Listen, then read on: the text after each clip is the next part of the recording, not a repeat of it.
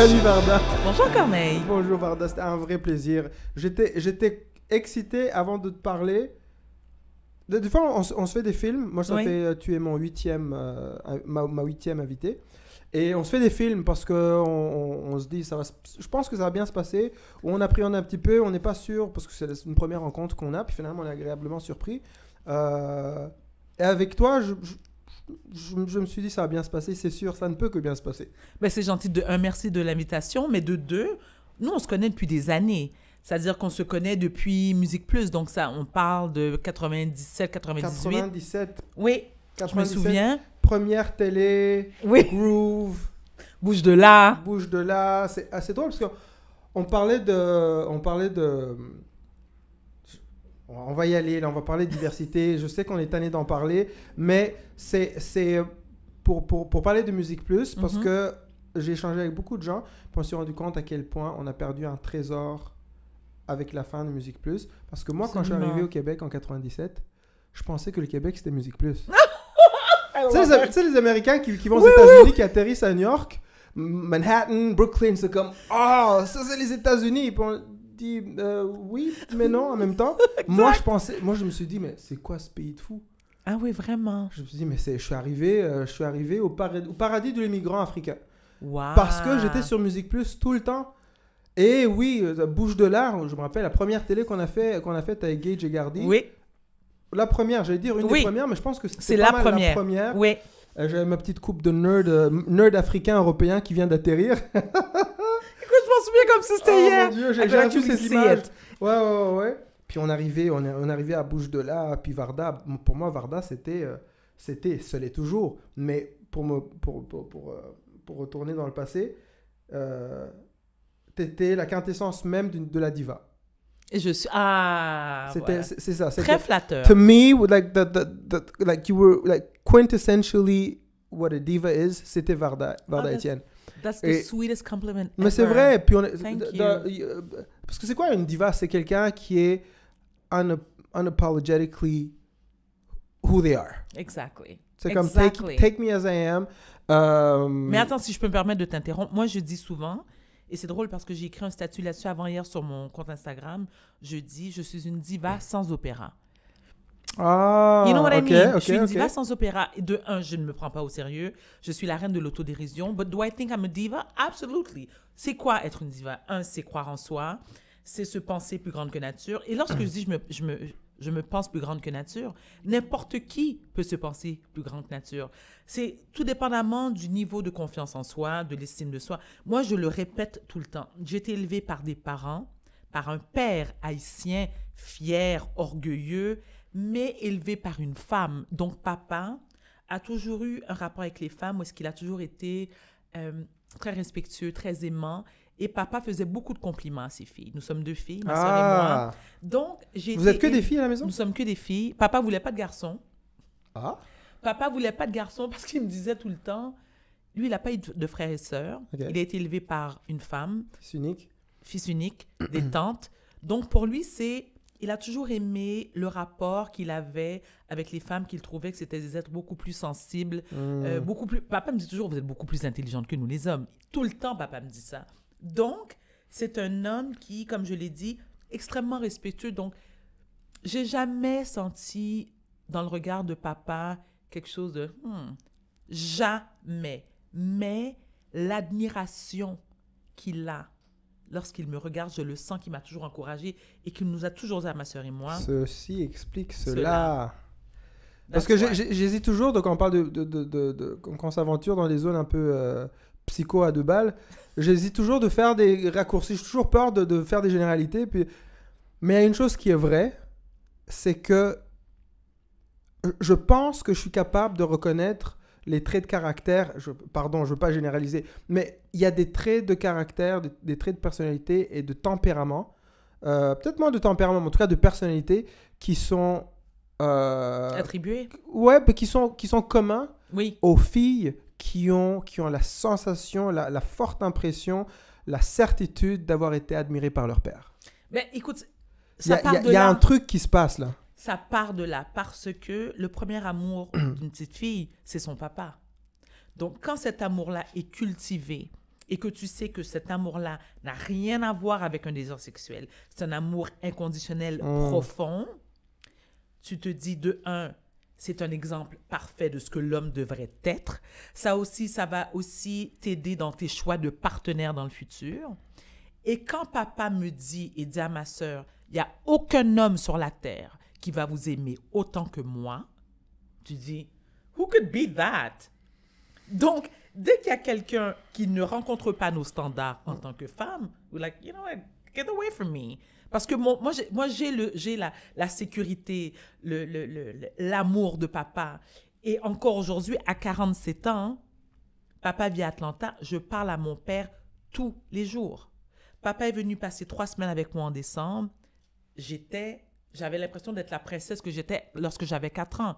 Je n'ai jamais fait la vaisselle, je n'ai jamais rempli le lave-vaisselle, j'ai jamais fait à bouffer. Euh, on, on parlait pendant des heures et des heures et des heures à s'épuiser physiquement. Ah. Et, et, je, et, et ce qui, et lorsque j'y pense, j'y pense pas souvent, parce que papa, c'est un homme fort, droit, en santé. Je me dis, lorsque cet homme-là va disparaître,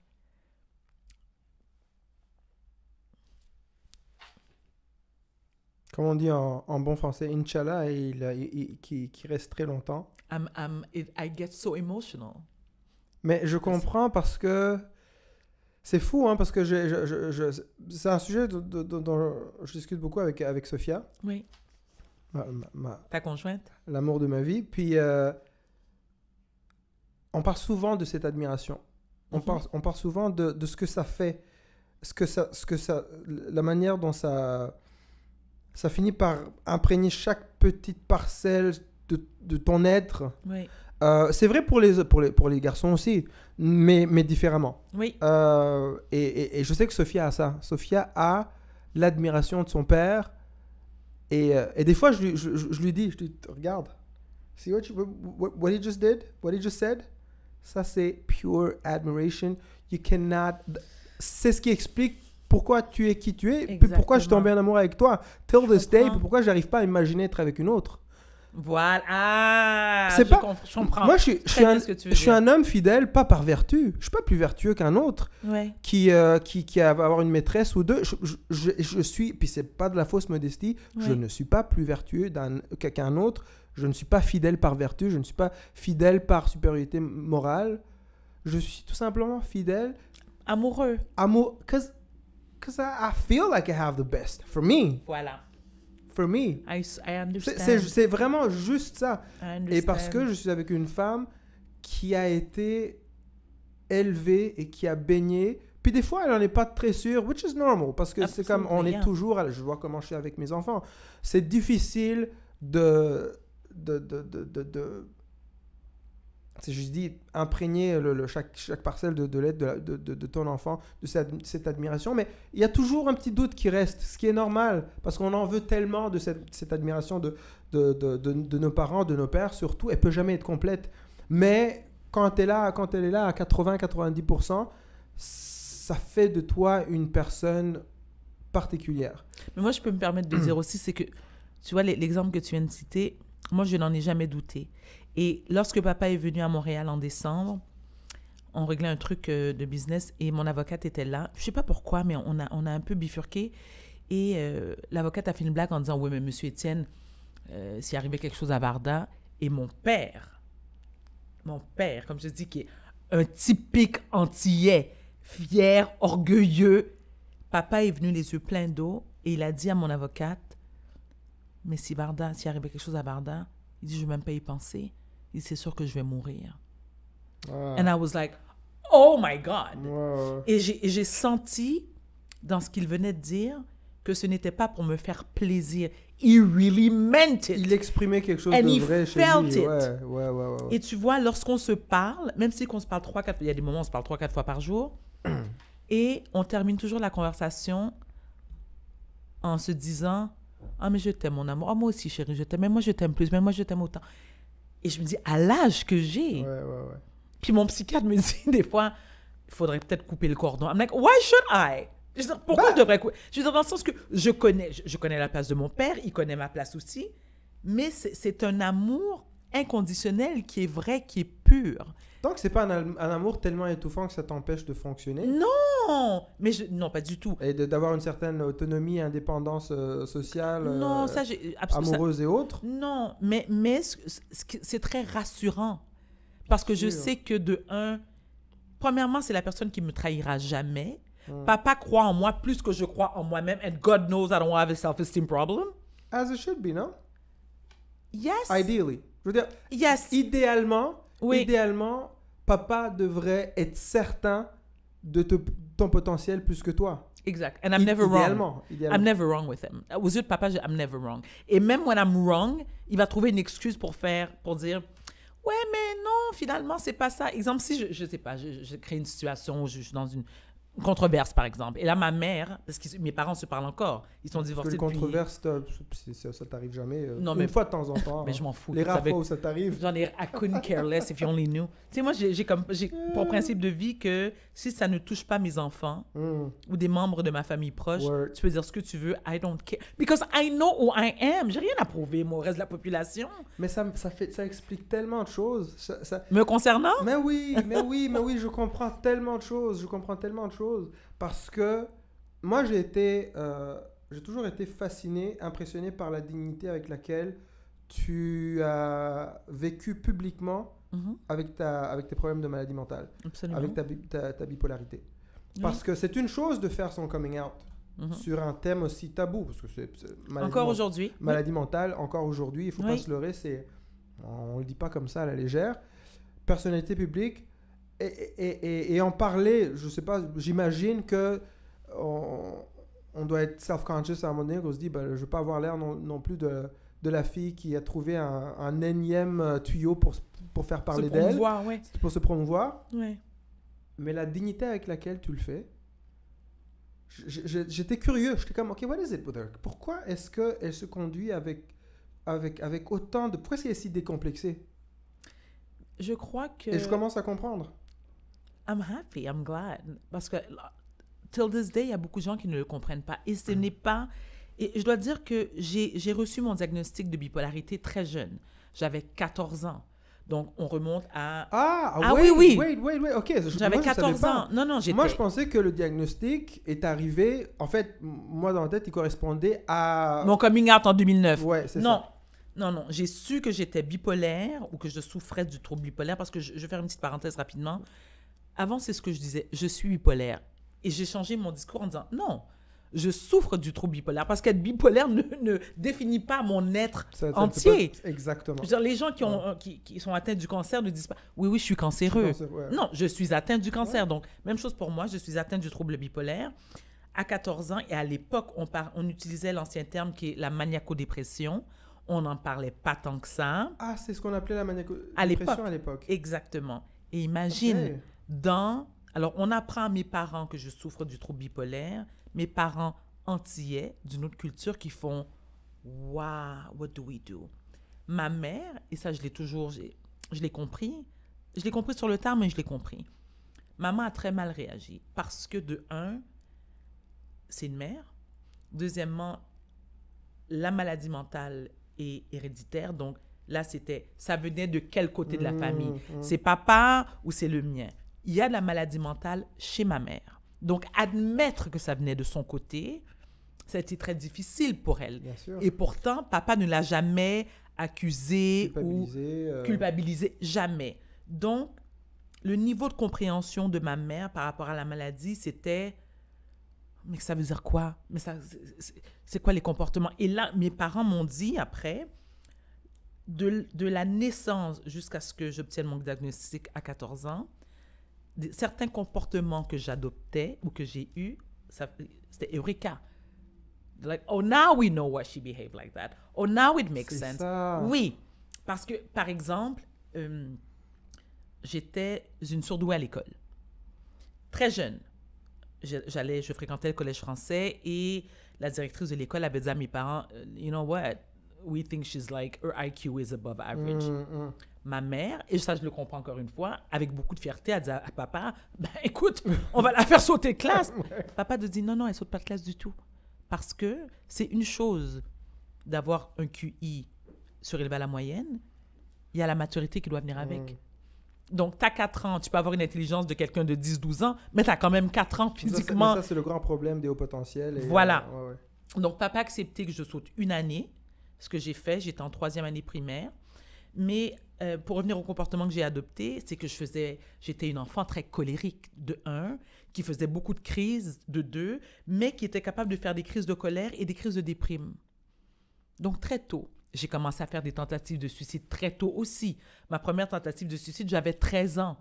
Donc, moi maintenant qui 13 suis... ans. 13 ans. Moi, maintenant qui suis mère, et j'ai vu mes enfants, parce qu'ils ont, les trois ont déjà eu 13 ans, je me dis, je, je serai anéantie. Je ne saurais pas quoi faire les ça, ça fait de toi une maman un petit peu parano, toujours en train de Euh, monitor les, les faits et gestes pour être sûr. Parce que tu dois te dire, ça vient de ma mère, du côté de ma mère. Moi, euh, je suis atteint de ce trouble-là.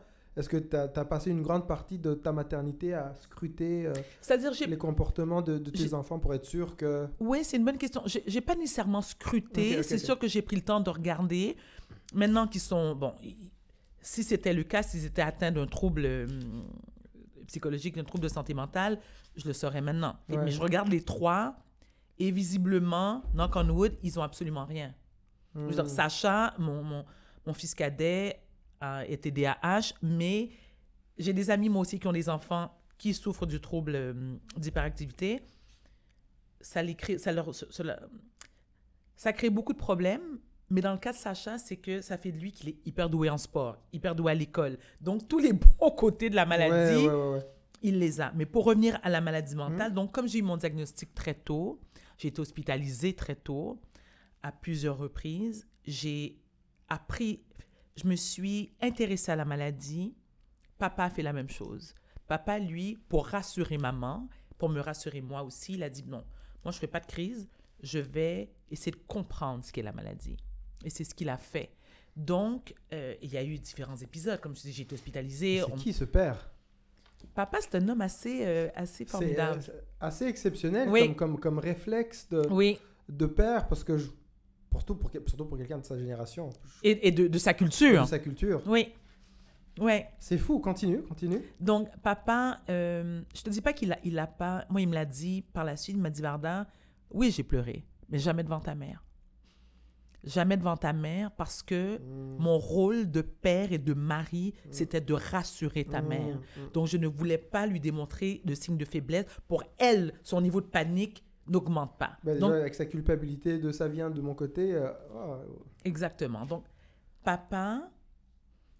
Donc, le fait de souffrir du trouble bipolaire a fait en sorte que je me suis mise en danger souvent. J'ai des comportements qui ont fait en sorte que je me suis mise en danger et j'ai vécu quelque chose d'extrêmement traumatique qui était un viol.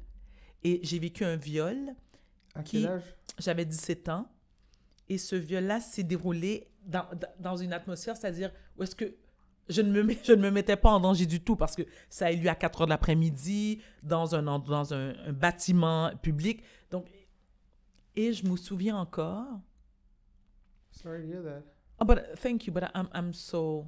I'm- I made peace with it. I Mhm. really made peace with it. It took me forever, but I made peace with it. Mais pourquoi j'en parle, c'est parce que je souffre d'un trouble de maladie mentale. Les gens qui l'ont su ont fait Oh, you know, she's lying. Hmm, Pourquoi, pourquoi on la croirait, elle? Elle. Elle a des problèmes de santé mentale, donc c'est sûr qu'elle a peut-être inventé cette histoire. Papa n'en a jamais douté. Papa n'a jamais remis en doute ma, ma, ma, ma- ma crédibilité. Wow. Jamais. Papa m'a toujours cru. Pour lui, c'était clair, c'était vrai, euh, c'était grave. Et je, te, je pourrais même te dire que mon père, qui n'est pas du tout de nature violente, c'est la première fois que maman m'a dit Je pense que ton père aurait pu tuer quelqu'un. Et, euh, et c'est aussi, je pense, la deuxième ou troisième fois que j'ai vu papa. Il était effondré. Papa a beaucoup pleuré parce qu'il m'a dit J'ai pas su te protéger. Et le rôle d'un père, c'est de protéger ses enfants, en plus lorsque c'est une fille. Papa s'en est, il s'est culpabilisé longtemps.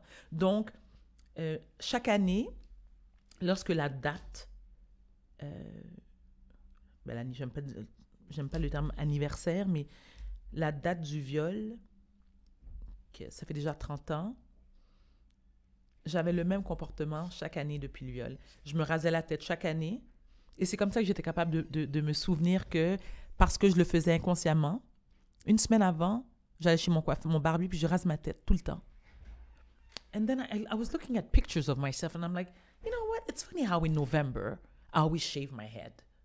Always. Et lorsque la date, donc c'est le 17 novembre, le 16, dans la nuit du 16 au 17, je me réveille la nuit et j'ai des palpitations et j'ai des frissons. Mémoire du corps. Mémoire, du- exactement. Et je me C'est passe très la... puissant. Extrêmement. Donc, chaque Très, très 17 puissant. novembre, je me bourre la gueule d'antidépresseurs où est-ce que je suis, je, je deviens quasiment inconsciente pour oublier. Et depuis deux, trois, ça fait trois ans, la date passe et je ne m'en souviens plus. And for me, it's like, oh my God. Donc, je suis, je vais faire comme, oh my God, on est, on est le 20, Ouais. mais il y a trois jours. Donc,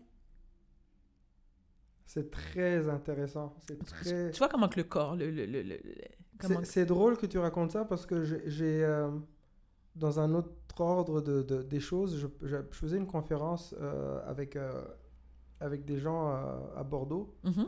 Puis, il, était question de pardon. Ils m'ont posé la question sur le pardon. Vas-tu un jour pardonner le les, hommes qui sont venus chez vous, qui ont tué ta famille? Oui. Puis, je me suis rendu compte à quel point, pendant longtemps, par automatisme, et aussi pour qu'on me laisse tranquille, je disais, ouais, j'ai pardonné. J'ai par... ouais, ouais, j'ai pardonné, j'ai pardonné. Puis finalement, je me suis rendu compte que c'était pas vraiment du pardon, parce que c'est euh, c'est compliqué de, de, de, de pardonner.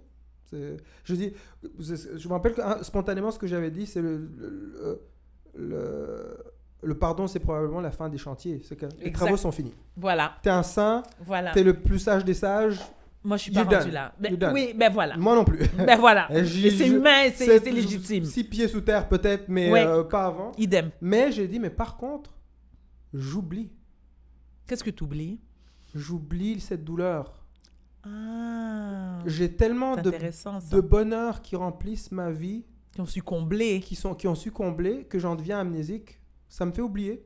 J'ai pas pardonné, mais j'oublie. Et quand tu dis cette date, des fois, je ne me rappelle même pas, c'est ça. C'est cette façon que, que le, le, le bien-être que, que, Voilà. que, tu acquiers avec le temps finit par prendre la place de la douleur Exact. euh, et, et de la peine. Et, et- et je trouve ça très très fort. Je, je voulais pas t'interrompre, mais non, ça, je t'en vraiment, prie. ça a résonné. Ouais, ouais. Mais tu sais, en même temps, c'est que ça a beaucoup joué sur euh, mes relations avec les hommes. Ouais, C'est-à-dire que, ouais. mis à part papa, I don't trust a motherfucker. No shit. You know what I mean? I don't trust a motherfucker. So, pour moi, j'ai souvent été extrêmement. euh, je je la- je l'admets avec beaucoup d'humilité, mais méchante. Parce qu'ils doivent payer pour celui qui m'a fait autant de mal. C'est- je, je voulais pas aller là, mais là, on, on est obligé. Puis je- je- parce que tu me parles de ça, tu me parles de. J'ai confiance en aucun homme à part mon père. En gros, là. Je En gros, ouais. En gros. Ouais. Toute la vague Me Too. Euh, premier, euh, le- le- la première phase de Weinstein, puis euh, deuxième phase Québec-France. Ouais. troisième phase là. Est-ce que com- com- comment est-ce comment est-ce que tu as vécu la première phase? Et est-ce que tu as, vécu les deux autres de la même façon? Est-ce qu'il y a eu une évolution? Parce que avant on parlait de Black Lives Matter puis clearly il y a eu une évolution de la manière dont Oui. on se sent par rapport à ça. Oui. On va en parler plus tard. Mais spécifiquement pour le mouvement MeToo, com- comment tu as vécu phase 1, phase 2, phase 3 Honnêtement, j'ai vécu les trois phases de la même façon parce que moi, depuis le jour 1, et ce depuis... Bon, déjà, avant d'avoir été agressée sexuellement, j'avais pris position où, pour moi, une agression sexuelle équivalait à un meurtre. Et je sais qu'il y a certaines personnes qui ont tenté de me dissuader en me disant, mais non, mais Varda, c'est pas la même, je c'est pas le même niveau de, de, de- violence. Oui, pour moi, c'est le même niveau de violence. Parce que... attends. Oui, je t'assure que oui. Attends, il, il oui, t'expliquait que un viol n'était pas le même niveau de violence que qu'un meurtre. Alors moi de répondre, oui, c'est le même. Oui, parce que on, on- tu peux pas expliquer la gravité et les blessures profondes que ça laisse lorsque quelqu'un viole ton corps. Parce qu'elle ne fait pas seulement violer ton corps, OK? Tu peux être violé physiquement si quelqu'un te donne des coups. Mais là, quelqu'un, excuse-moi d'être... c'est la- euh, moi, je suis quelqu'un Ah très visuel, donc Ah non, j'ai- ouais, ouais. tu te fais pénétrer contre ton gré avec de la violence. Donc, là seulement, tu es victime d'agression physique, Mhm. sexuelle et psychologique. Psychologique. Parce que, Très, très intensément. tu vois ce que je veux dire? Donc, un meurtre, je dis pas que c'est banal un meurtre, pas du tout. Mais un meurtre, on te tue, it's done. Là, on t'agresse physiquement, psychologiquement, sexuellement, et tu restes en vie. So you carry that pain, that immense pain, Mhm. forever. Et pour moi, ce sont des cicatrices qui sont très, très, très, très, très difficiles à soigner. Bah, écoute, moi, je, À voir jamais. bah, jamais. Moi, je peux en parler aussi parce que moi aussi, j'en ai parlé euh, assez public, publiquement. Oui. Moi, j'étais victime d'un abus sexuel Oui, enfant. oui. Par, une, Enfant, par, c'est- par c'est une pire. tante. Par une tante. En plus, oui. Donc, euh, j'ai- j'ai j'ai- j'ai fait le, le whole nine. Thérapie, Oui. euh, le- the, the- the- the Oui. whole shebang. Oui. Et quand la vague MeToo est arrivée, euh, bon, Weinstein, dans un premier temps, ça semblait un petit peu loin, mais when it hit home, ici, puis, puis, puis en France, surtout ici, Oui. euh, il était souvent question de, comme tu dis, euh, mais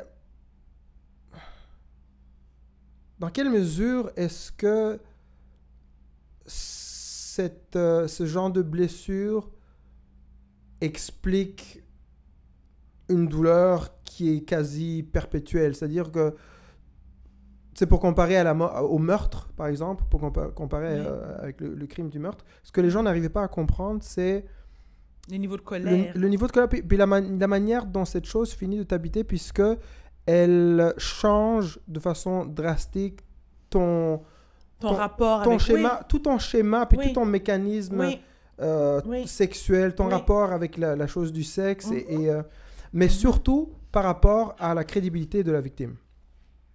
Parce que ce que ce qu'on entend souvent, c'est ben oui, mais comment on prouve ça? Et moi, ce que j'ai dit, puis j'essaie de, de- de l'expliquer de la façon la plus. euh, la- la- la- la- la- Ça, moi, ça m'enrage. Ça me... Moi aussi, ça m'a enragé. me met hors mais mais je mets à la place des gens qui remettent en cause. They don't get it. Et moi, ce que j'essaie de l'expliquer, c'est que tu peux mentir sur plein de choses. Peux mentir sur plein de choses. Pour avoir de l'attention, Oui, oui, exact. tu peux mentir Exact. sur plein de choses, Exact. sauf ça.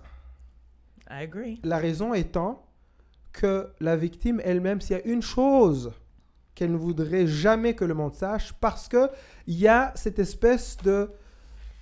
T'as jamais la certitude que tu n'y as pas contribué un petit peu. Ben, clairement, Ça, ouais. ça- ça, c'est le... Ça, c'est Et le- même enfant. Même, même enfant. enfant. même enfant. Moi, ce que j'ai dû déconstruire, c'est pendant toute la thérapie que j'ai fait, je me disais, mais est-ce que j'ai invité une partie de ça Moi, est-ce que je suis en partie responsable? Et le viol, ça doit être la même chose. Toutes les agressions sexuelles, les vraies agressions sexuelles, non, on parle pas du truc de il m'a regardé les fesses. euh, ou- Non, non, c'est- pas de ça qu'on parle. On parle d'une agression. Oui, c'est une violation. Une violation de ton de corps ton physiquement corps. Oui. quand ça t'arrive, tu, tu, puis corrige-moi si je me trompe, mais je pense qu'il y a ce problème. Le problème, c'est je ne suis pas certain dans quelle mesure la faute incombe à 100% à l'agresseur? Peut-être que j'y suis pour quelque chose. Et c'est ce que tu traînes pendant longtemps. Et c'est ce qui amène à la honte. Parce que si c'était clair, si c'était clair qu'il n'y avait absolument rien et que ton, ta- ton, ta- ton statut commence par victime, finit par victime, Voilà. ce serait très clair, tu dénoncerais tout de suite. Mais, tu la- peux pas dénoncer parce que c'est comme, but what, what did I do? Did I, did I put out signs? Did I, what- comme, qu'est-ce que j'ai fait? I Et- can so relate. tu ce que je Yeah. veux dire? Et, et, absolutely. et, et, euh, j'essaie de, d'expliquer ça from a male's perspective. En plus. Ah ouais, c'est vrai, j'ai oublié cet aspect-là. Bah oui, oui, Ouais. oui. Oui, Ouais, parce que, Ouais, ouais. parce que il, il- il- faut, il, il faut dé- dé- déconstruire, démystifier ce- ce- cette, euh, cette, cette, cette idée qui voudrait que l'agression sexuelle, le crime sexuel, Mhm. C'est juste un crime comme un autre. Donc, on va l'évaluer selon les mêmes critères que n'importe quel autre crime. Non, c'est pas. un crime très particulier, Et très grave. Et très aussi, grave. Avec des conséquences. Oui, oui, oui. mais c'est un, Oui. c'est un crime, c'est probablement le seul crime dans lequel la victime n'est jamais sûre que son statut n'est que celui de la victime. Exact. Et donc, exact. pendant longtemps, tu traînes cette honte. Il est hors de... Le jour où tu décides d'en parler, tu te fais violence à toi-même.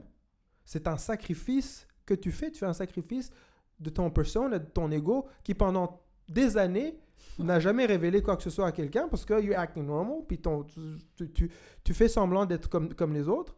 Et le jour où tu décides de casser cette, cette posture, c'est un vrai sacrifice que tu fais. Tu peux pas le dire juste pour avoir de l'attention.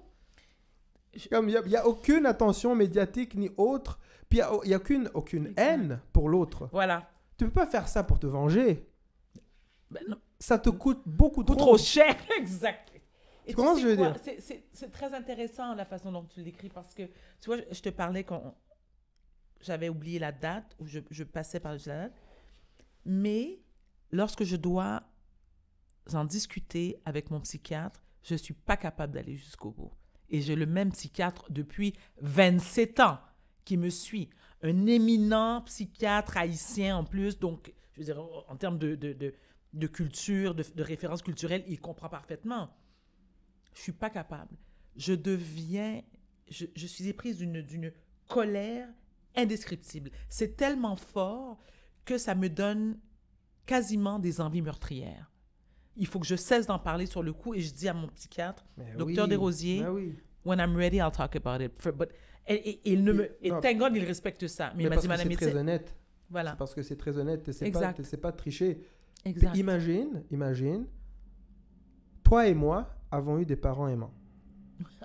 Oui, alors imagine. Imagine, ça me, ça me donne, ça me donne des frissons. Imagine les, des milliers, Oui, de des victimes. centaines de milliers de victimes qui n'ont pas ce qu'on a eu. Et qui un jour osent parler et qui, et qui se sont dire, rejetés. Moi, j'en ai, j'en, ai connu. T'as pas de support. Toi et moi, on a eu le support. Toi, t'as le support. Toi, Ouais. ton père dit non, c'est quoi ma fille Je te crois. Oui, Ils peuvent dire ce qu'ils veulent. Exact. Toi, tu sais que papa me croit. exact. Exact. Quand tu un vas voir homme en plus. un homme, Un homme. quand tu vas voir papa, puis que papa te dit mais moi j'ai entendu des you know what, je te crois pas, mais si c'est vrai, you deserved it.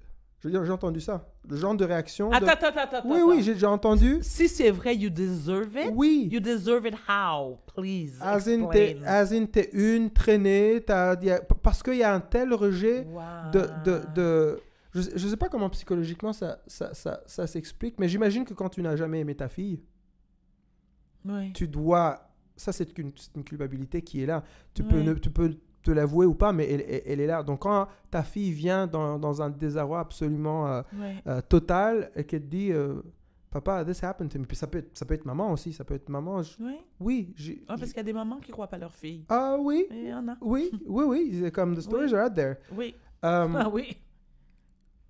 c'est une façon de t'expliquer pourquoi tu ne l'as pas aimé. Tu dis, bah, c'est normal, je ne l'ai pas aimé. Elle traîne tout un bagage euh, euh, psychologique qui explique pourquoi elle se retrouve dans des draps comme ça, euh, comme no pun intended. Mais, et, et, et, et- c'est ça. Donc, moi, je pense à tous ces gens-là. Et, et- quand, quand, quand, quand tout ça est tombé, c'est ce que je m'efforçais d'expliquer aux gens.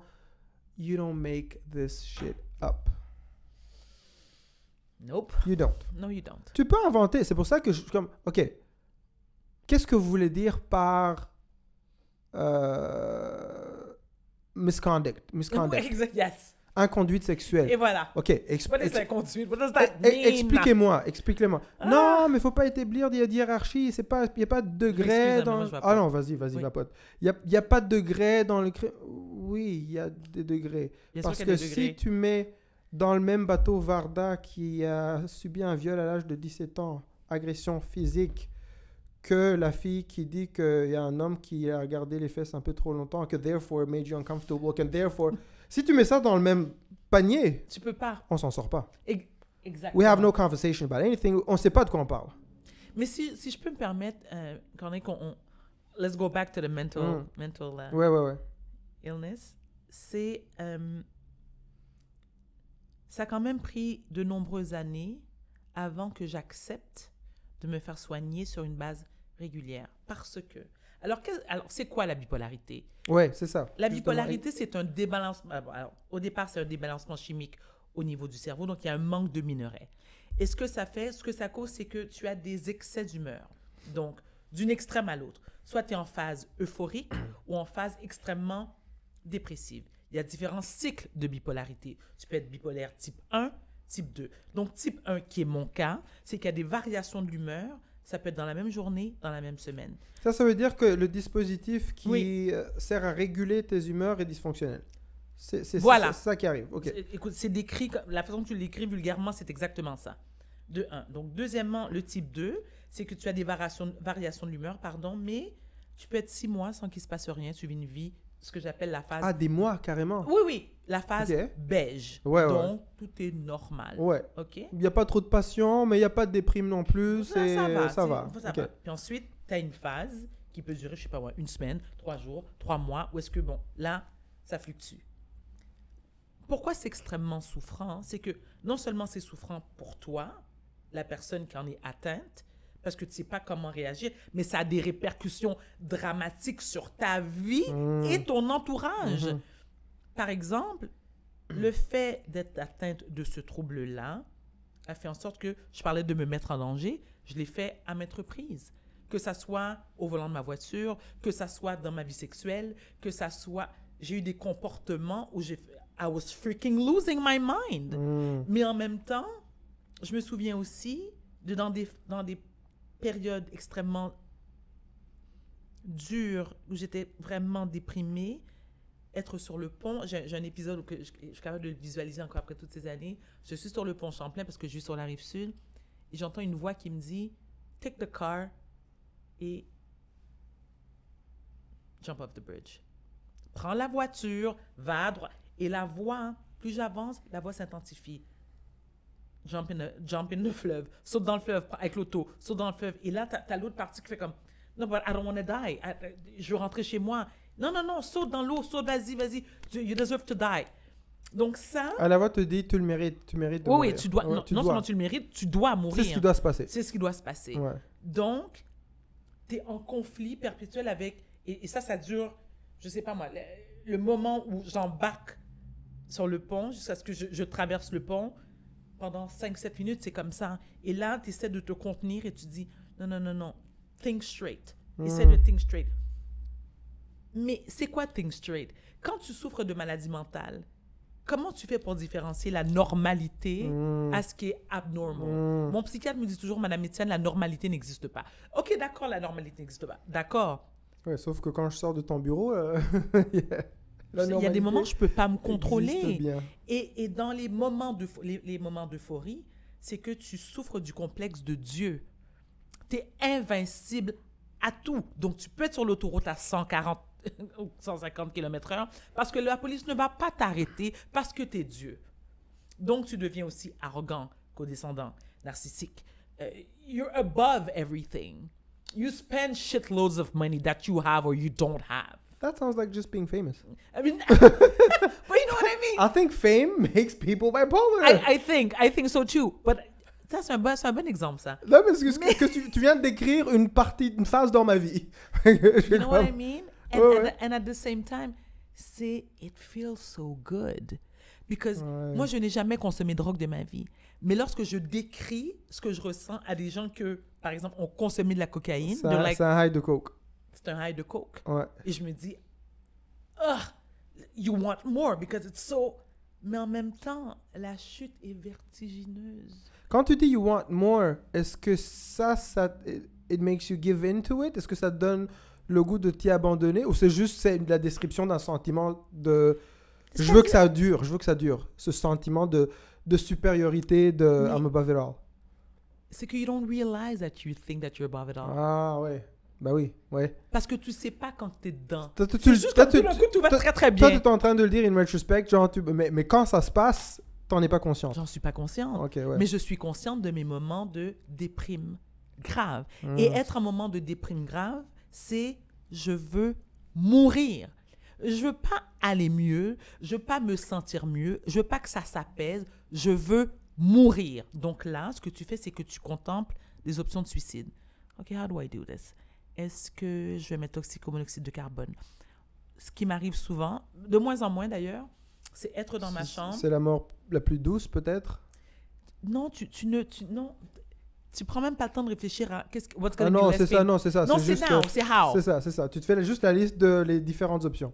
Et les options sont bon, ma robe de chambre est accrochée sur la porte de la salle de bain. Si je prends la ceinture, je la mets autour de mon cou, j'attache ça à la porte, ça, je glisse. OK, I'm dead. It's going to take me three minutes. Ah, j'ai pas, j'ai pas de revolver, donc I cannot really shoot myself. Euh, monoxyde de carbone, ouais, mais je sais pas comment trop, euh, euh, insérer ça dans le, le boyau. dans- Et c'est m'est arrivé d'aller sur Google et taper comment, comment faire un nœud coulant? Comment... Ah, c'est tellement weird ce que tu me dis parce que c'est parce que j'ai commencé, j'ai commencé à écrire un roman il y a quelques années. Et le roman commence avec c'est un, c'est un homme dans la quarantaine Ouais. Qui se réveille un jour puis il se dit je, je vais prendre ma vie. Et il va sur YouTube pour. Mais là, là je me suis dit que là, je, je suis I'm, I'm losing it. Je suis en train de. de, de, de- Non. I'm losing my shit parce que si j'imagine que quelqu'un qui veut s'enlever la vie va sur YouTube pour trouver euh, une, les façons de. Mais euh, oui. Et puis, puis- is so- And I'm to tell you something else. Moi, je suis fascinée par le suicide. Ça, dès que j'entends un suicide, que ça soit d'une personne proche ou d'une personne que je ne connais pas, moindre, ça moindre, je te dirais, la différence entre les deux, elle est très, très mince. I feel the same pain. Je, vais aller lire toute la vie de la personne. Qu'est-ce que... Et j'étais, moi, sur YouTube, j'ai regardé des pendaisons. Oui, oui, je, l'ai fait parce que j'essaie d'imaginer, OK, ça, c'est moi. Et, et lorsque les gens te disent, mais t'as des enfants, t'as une famille, t'as une carrière, like, I don't give a fuck. I don't give a fuck parce que la douleur La est douleur. tellement intense que tu ne prends pas, le- tu ne te soucies plus de tes enfants, ton conjoint, ta conjointe, tes parents. Ça n'existe plus. Ça Il n'existe n'existe que ta douleur. Et c'est une douleur qui est, bon, clairement psychologique, mais qui se transforme en un mal physique. T'as tellement mal, ton être est comme envahi d'un mal. C'est un mal-être, clairement, mais c'est que tu ressens des Mais le- douleurs physiques. Donc, tu as des maux de tête, tu as des nausées, tu as des frissons, tu as des réactions cutanées. Ah, ça, ça s'exprime physiquement, physiologiquement Oui, aussi. oui. C'est pas juste un truc. Et Mental. ça te et Corneille, ça te paralyse. Moi, il y a des moments en déprime profonde où est-ce que je ne suis pas capable non seulement de sortir de mon lit, il y a eu des moments où j'urinais dans mon lit et j'ai, I mean, I have, a, I have a, a bathroom in my bedroom qui est à peut-être six pieds. Je suis pas capable de me rendre. Je suis pas capable de me rendre. Je deviens complètement tétanisée. Donc, comment tu peux ouais. expliquer cette douleur à quelqu'un qui est The fuck you talking? What do you mean? I feel it. Et les seules personnes qui le comprennent sont celles qui le vivent. Qui le vivent. Moi, je ne sais pas c'est quoi avoir le cancer. Je ne sais pas c'est quoi euh, euh, je veux dire, passer à travers la chimio. J'ai de l'empathie, je sympathise avec ceux qui le vivent ou qui doivent le vivre. But don't, don't ask me to feel it. I don't know how to feel it. Mais Tu vois ce que je veux dire? on a, You on a, on n'a pas besoin de. Ça, ça, c'est quelque chose qui me, qui me, qui m'intéresse aussi beaucoup. Cette idée qu'on- que l'on doive se mettre à la place de l'autre pour valider euh, ce que le. Le- le- ressent. De la souffrance, ouais. On n'est pas. Premièrement, on n'est pas. On n'est on, on- pas. on- n'est pas du tout euh, équipé pour. Je dis toujours qu'on n'a on a, on n'a pas un disque dur euh, assez performant pour se mettre à la place de l'autre instantanément. À moins que tu vives la même chose. À moins, oui, si tu as vécu la même chose, si tu vis la même chose, oui. Ouais. Mais s'imaginer être l'autre et savoir l'expérience, comprendre l'expérience physique, mentale ou autre que l'autre est en train de, de, de, de, de connaître, c'est pas possible. Fait que moi, je, je m'en suis rendu compte, c'est une, leçon- une leçon que j'ai apprise euh, euh, avec Sophia au début de notre relation. Parce que on se retrouvait souvent dans des situations où, clairement, je me rendais compte que moi étant un homme et Mhm. elle étant une femme, Mhm. nous n'avions pas, nous, nous avions fait les mêmes expériences, Oui, mais pas vécu de la même façon. Oui, mais pas vécues de la même façon, Clairement. mais du tout. clairement. Et très souvent, on a eu plusieurs phases. La première phase, c'était, elle me disait, non, but it matters to me. Moi, ça me fait mal. Mhm. Moi, ma première réaction, c'est comme, hein? What do you mean? What do you mean? Erreur. Puis après, je me suis dit, ok, c'est I'm gonna fake it. Ah, bah oui. I'm gonna fake it parce que Nope. j'ai- j'ai j'ai- j'ai tellement pas envie d'être la personne qui, qui te fait du mal, je t'aime tellement. Donc, je vais faire semblant du gars qui comprend, je vais dire, you know what, I get it. When I don't get it. Alors. Mais, mais tu sais ce qui Et, et- et là, je me dis, mais non, ça marche pas parce que Sophia, elle. Ça passe pas. Non, ça passe pas. Il y a très peu de, il y a très peu de ch- choses qui passent. Elle a un QI émotionnel qui est là. Oh, sky high. oublie ça, là. Elle, elle me lit euh, en deux secondes. Donc ça, ça marchait pas non plus. Puis à un moment donné, j'ai capté. Je me suis dit, tu sais quoi? Désormais, quand tu me dis que tu ressens quelque chose, je n'essaierai même pas, je ne tenterai même pas de comprendre, de me mettre à ta place. Ce n'est pas possible. sage? Donc, je vais juste prendre pour acquis que ce que tu me dis est vrai et que la manière dont tu me le décris correspond exactement à ce que tu ressens. Point barre. Bravo. C'est tout. Mais tu sais ce qui est, ce qui est, ce qui est extrêmement pénible, c'est non seulement la douleur que tu ressens, mais c'est le jugement des autres. Ouais. Le jugement des autres. Parce que moi, combien de fois, et encore aujourd'hui, lorsque j'entends Ah, t'es qu'une hostie folle. Ah, on sait bien, t'es folle. Ah, maudite folle. Ça, et là, ça me ramène à Ah, parce que t'as pas le temps. Parce que toi, tu dois te dire, et si tu savais Mais je n'ai pas le temps de t'expliquer. Non, ça m'atteint encore. Mais c'est normal. ça m'atteint Mais encore. c'est normal, ça t'atteigne. Parce que T'es une folle. C'est un- un- une accusation très grave. Oui, de, de un, mais puis- puis- et lorsque tu souffres de maladie mentale, c'est justifié. Tu as Ouais. l'impression que c'est Ouais. justifié parce qu'on attribue toujours maladie mentale avec folie. Mhm. Donc, tu devrais être dans un hôpital psychiatrique, on sait bien t'es folle. Ah, on le sait, elle est folle. Et ça, non seulement ça, c'est que moi, ça m'a coûté beaucoup, beaucoup ma carrière. C'est une des questions que j'allais te poser. Je, je te demandais comment est-ce que ta maladie a affecté Énormément. ton parcours de carrière? Énormément. Mais, je sais qu'il y, a- il y a beaucoup de gens qui, qui ne me croient pas lorsque je dis, but then again, I don't care. I don't care. And I really mean it. And I'll tell you why I don't care. Mm. Parce que, pour moi, c'est comme si quelqu'un me disait, Varda, à quel point le fait d'être black a nuit à ta carrière. I don't even think about that because I was born black, I'm gonna die black, and I love being a black woman. La maladie mentale fait partie intégrale de ma vie. There's nothing I can do about it. I'm gonna die bipolar or suffering from bipolar disorder. What am I gonna do? Commencer à faire comme oui, mais si j'avais pas été bipolaire, je ne serais pas trop bipolaire, ma carrière. Ben oui, mais d'un autre côté, j'ai été gâtée. La vie m'a gâtée autrement. Moi, je suis fière de dire aux gens, you know what, my IQ is actually higher than yours, boo. Donc, you know what I mean? Je veux dire, moi, je suis capable d'écrire un bouquin en trois mois. Can you, Ouais. can you do the same? Ouais. I've got three beautiful children. J'ai réussi l'éducation de mes True. enfants. I consider myself a very good looking woman. I'm 48 years old. Tu sais, je, je me dis, est-ce que ça, ce que, ce que je considère être acquis ou inné, ça fait le contrepoids du fait que j'ai une maladie mentale? Absolutely! Absolutely! I mean, combien de femmes, moi, je connais qui sont sublimes euh, physiquement? I mean, mon père dit toujours, beauty fades, brain is forever. Beauty fades and brain is forever. And I love that brain. That brain here, I really, truly love it. Moi, moi, je, je souscris tellement à ça et je trouve ça tellement déplorable. Encore une fois, c'est des conversations que j'ai souvent avec, euh, avec Sophia sur euh, la- la- la- le poids de, de l'importance qu'on a donné à la beauté comme on, comme on l'entend, Oui, comme on l'a formatée, comme Oui. on l'a codifiée. oui, Ah, Parce que je raconte toujours, je moi, moi j'ai découvert la notion de la femme qui est forte au Québec. of course, parce Je- que on a, I mean, Moi, je rappelle-? Moi, je me rappelle des, des, des, des, femmes, des femmes qui travaillaient avec mon père. Ouais, J'entendais d'autres hommes parler de ces femmes-là comme si elles étaient. Yo, they're like, these women, like, like, yeah, these women were hot. that's it. Et elles ne correspondent pas aux, aux critères Mais nord-américains. zéro! Mais zéro! C'était des femmes rondes, Oui, fortes, voluptueuses. avec- voluptueuses. oui, puis, oui, euh, oui, oui, oui, oui. Et, et- et- et donc, on a, on a beaucoup codifié ça. Puis de toute façon, c'est tellement arbitraire, de, De toute un. façon, et de, et de un. Mais c'est tellement important dans nos sociétés de correspondre à tel ou tel ou tel euh, critère de, de- de beauté. Et pourtant, il n'y a rien de plus éphémère. La- la- cette beauté-là, qui est toujours associée à la jeunesse, évidemment. Ah oui, bien sûr. Oui, de un. Ah, mais, euh, hey, tu, hey, tu peux tricher comme tu veux, là. Oui. Mais à un moment donné, it's gonna Non, get ça you. ment- ben, c'est ça. ça, ça ment de- T'as beau avoir de l'aide, Euh, il y a des parties de ton corps qu'elles ne mentent pas. Les mains, ça ne ment pas. Le cou, ça ne ment pas. Donc, qu'est-ce que tu Et fais? le, et le poids est sur la femme. Le poids est sur la femme. Donc, moi, tu, tu vois, c'est-.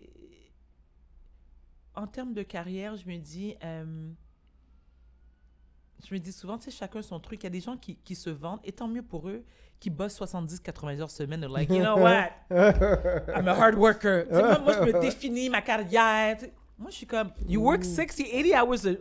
Really? Ah non, that's way too much. Je moi, j'ai 47 ans. Je sais pas combien d'années qu'il me reste. Donc, je, je, Je n'envisage pas, mais pas du tout, vivre les 5, 10, 15 prochaines années de ma vie à faire I work 80 hours. Non, moi, je travaille le moins possible. Thank Je you! travaille le moins possible parce que I need to have fun. Écoute, I need some, I need a lot of me time. And Écoute. me time doesn't involve des, Work? des- work. non! Moi, me time, c'est je lis, je vais au spa, j'écoute la télé, je m'occupe de mes enfants. me- Et même mes enfants, sometimes I'm like, you know what? not today.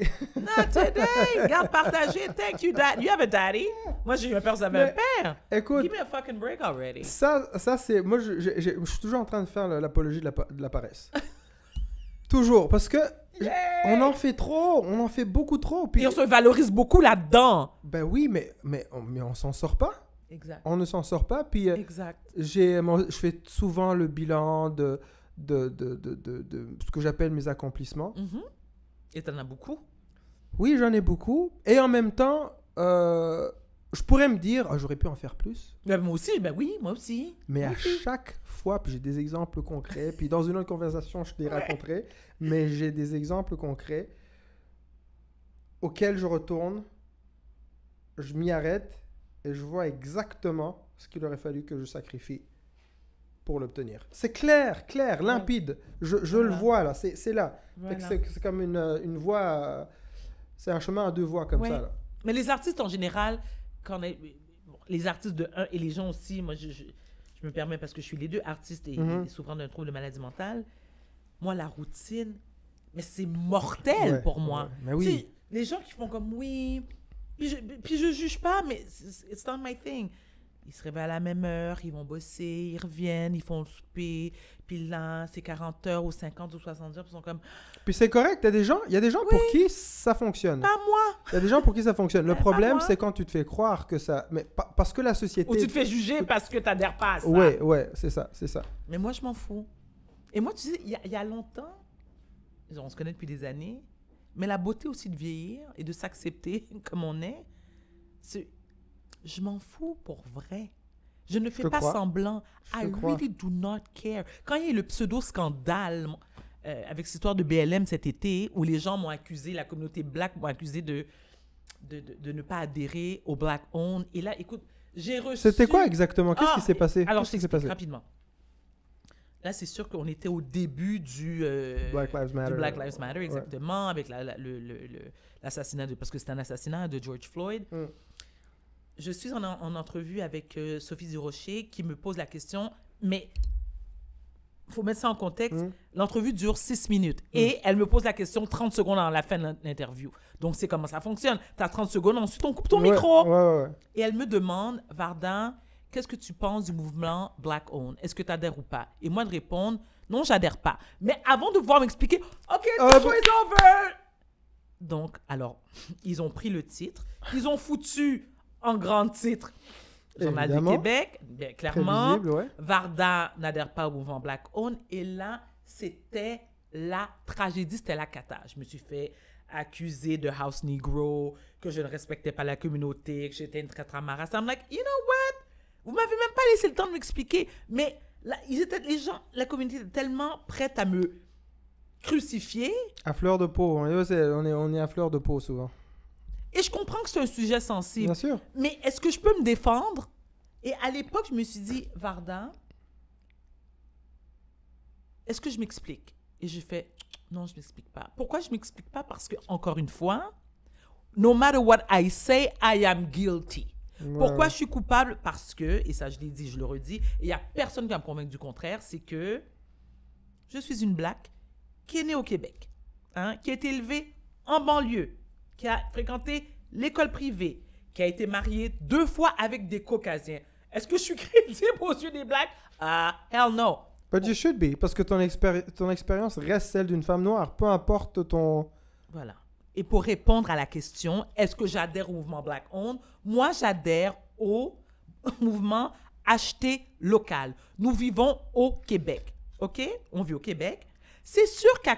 dire, Mais c'était quoi le rapport entre Black Lives Matter et euh, Black Owned Businesses? Parce que Est-ce qu'il a été question de ça dans, pendant l'entrevue de... euh, il y a euh, eu. Moi, j'- avec Sophie? il y a- alors, oui, parce que Sophie m'a demandé, vu le mouvement euh, Ouais, ouais, Black ouais. Lives Matter, et, il y avait, et là, c'était très, très fort le mouvement Ouais, Black Owned. ouais. Qu'est-ce que j'en pense?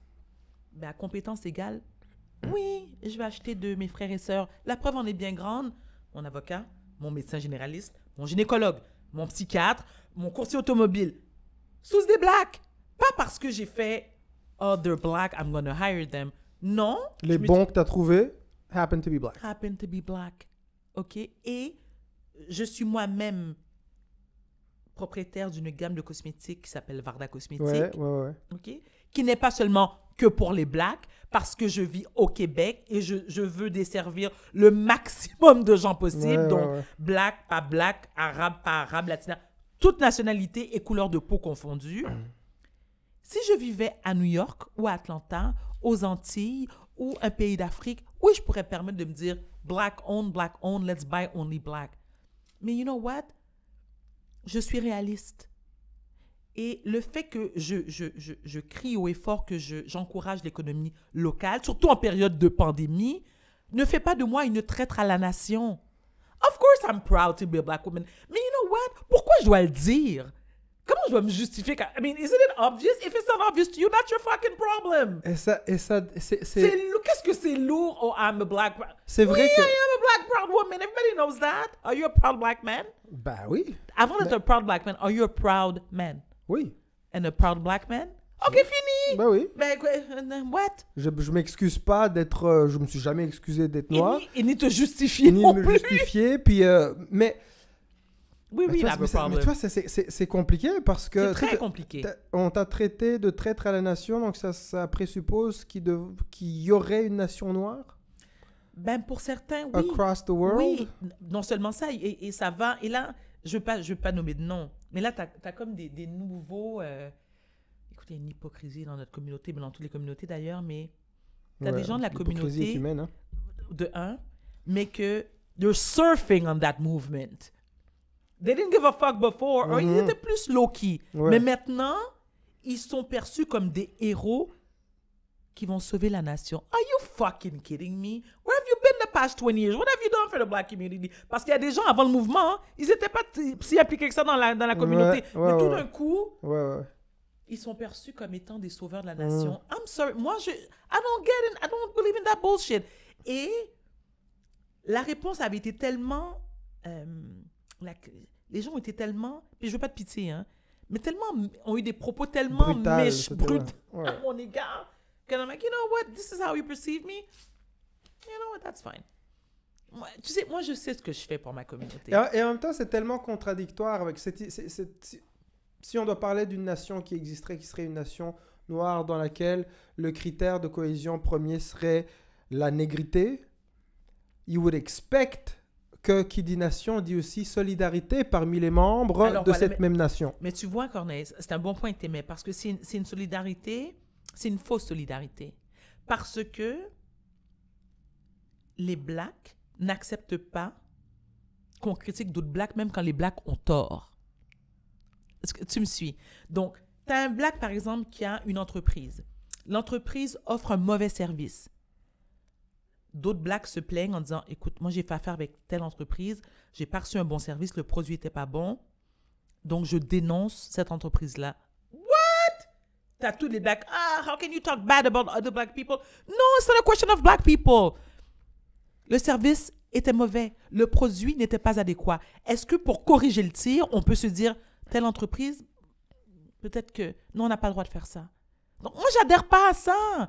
Moi, je suis, je veux dire, si quelqu'un critique mon entreprise Varda Cosmétiques comme disant, le produit était pas bon, le service à la clientèle n'est pas bon, et que tu le dénonces, Pourquoi est-ce qu'il faudrait baisser les standards parce que tu es une Parce qu'il faut être solidaire à la race. euh, Non, noire? il faut être solidaire à la race. Tant, hein, je veux dire, tant et aussi longtemps que la qualité est bonne, que le service à la clientèle est bon, que ça correspond à mes attentes en tant que consommateur. Sinon, je vais aller acheter chez le chinois, chez le juif, chez... De toute façon, Who cares? de toute façon, euh, un manque de compassion Mhm.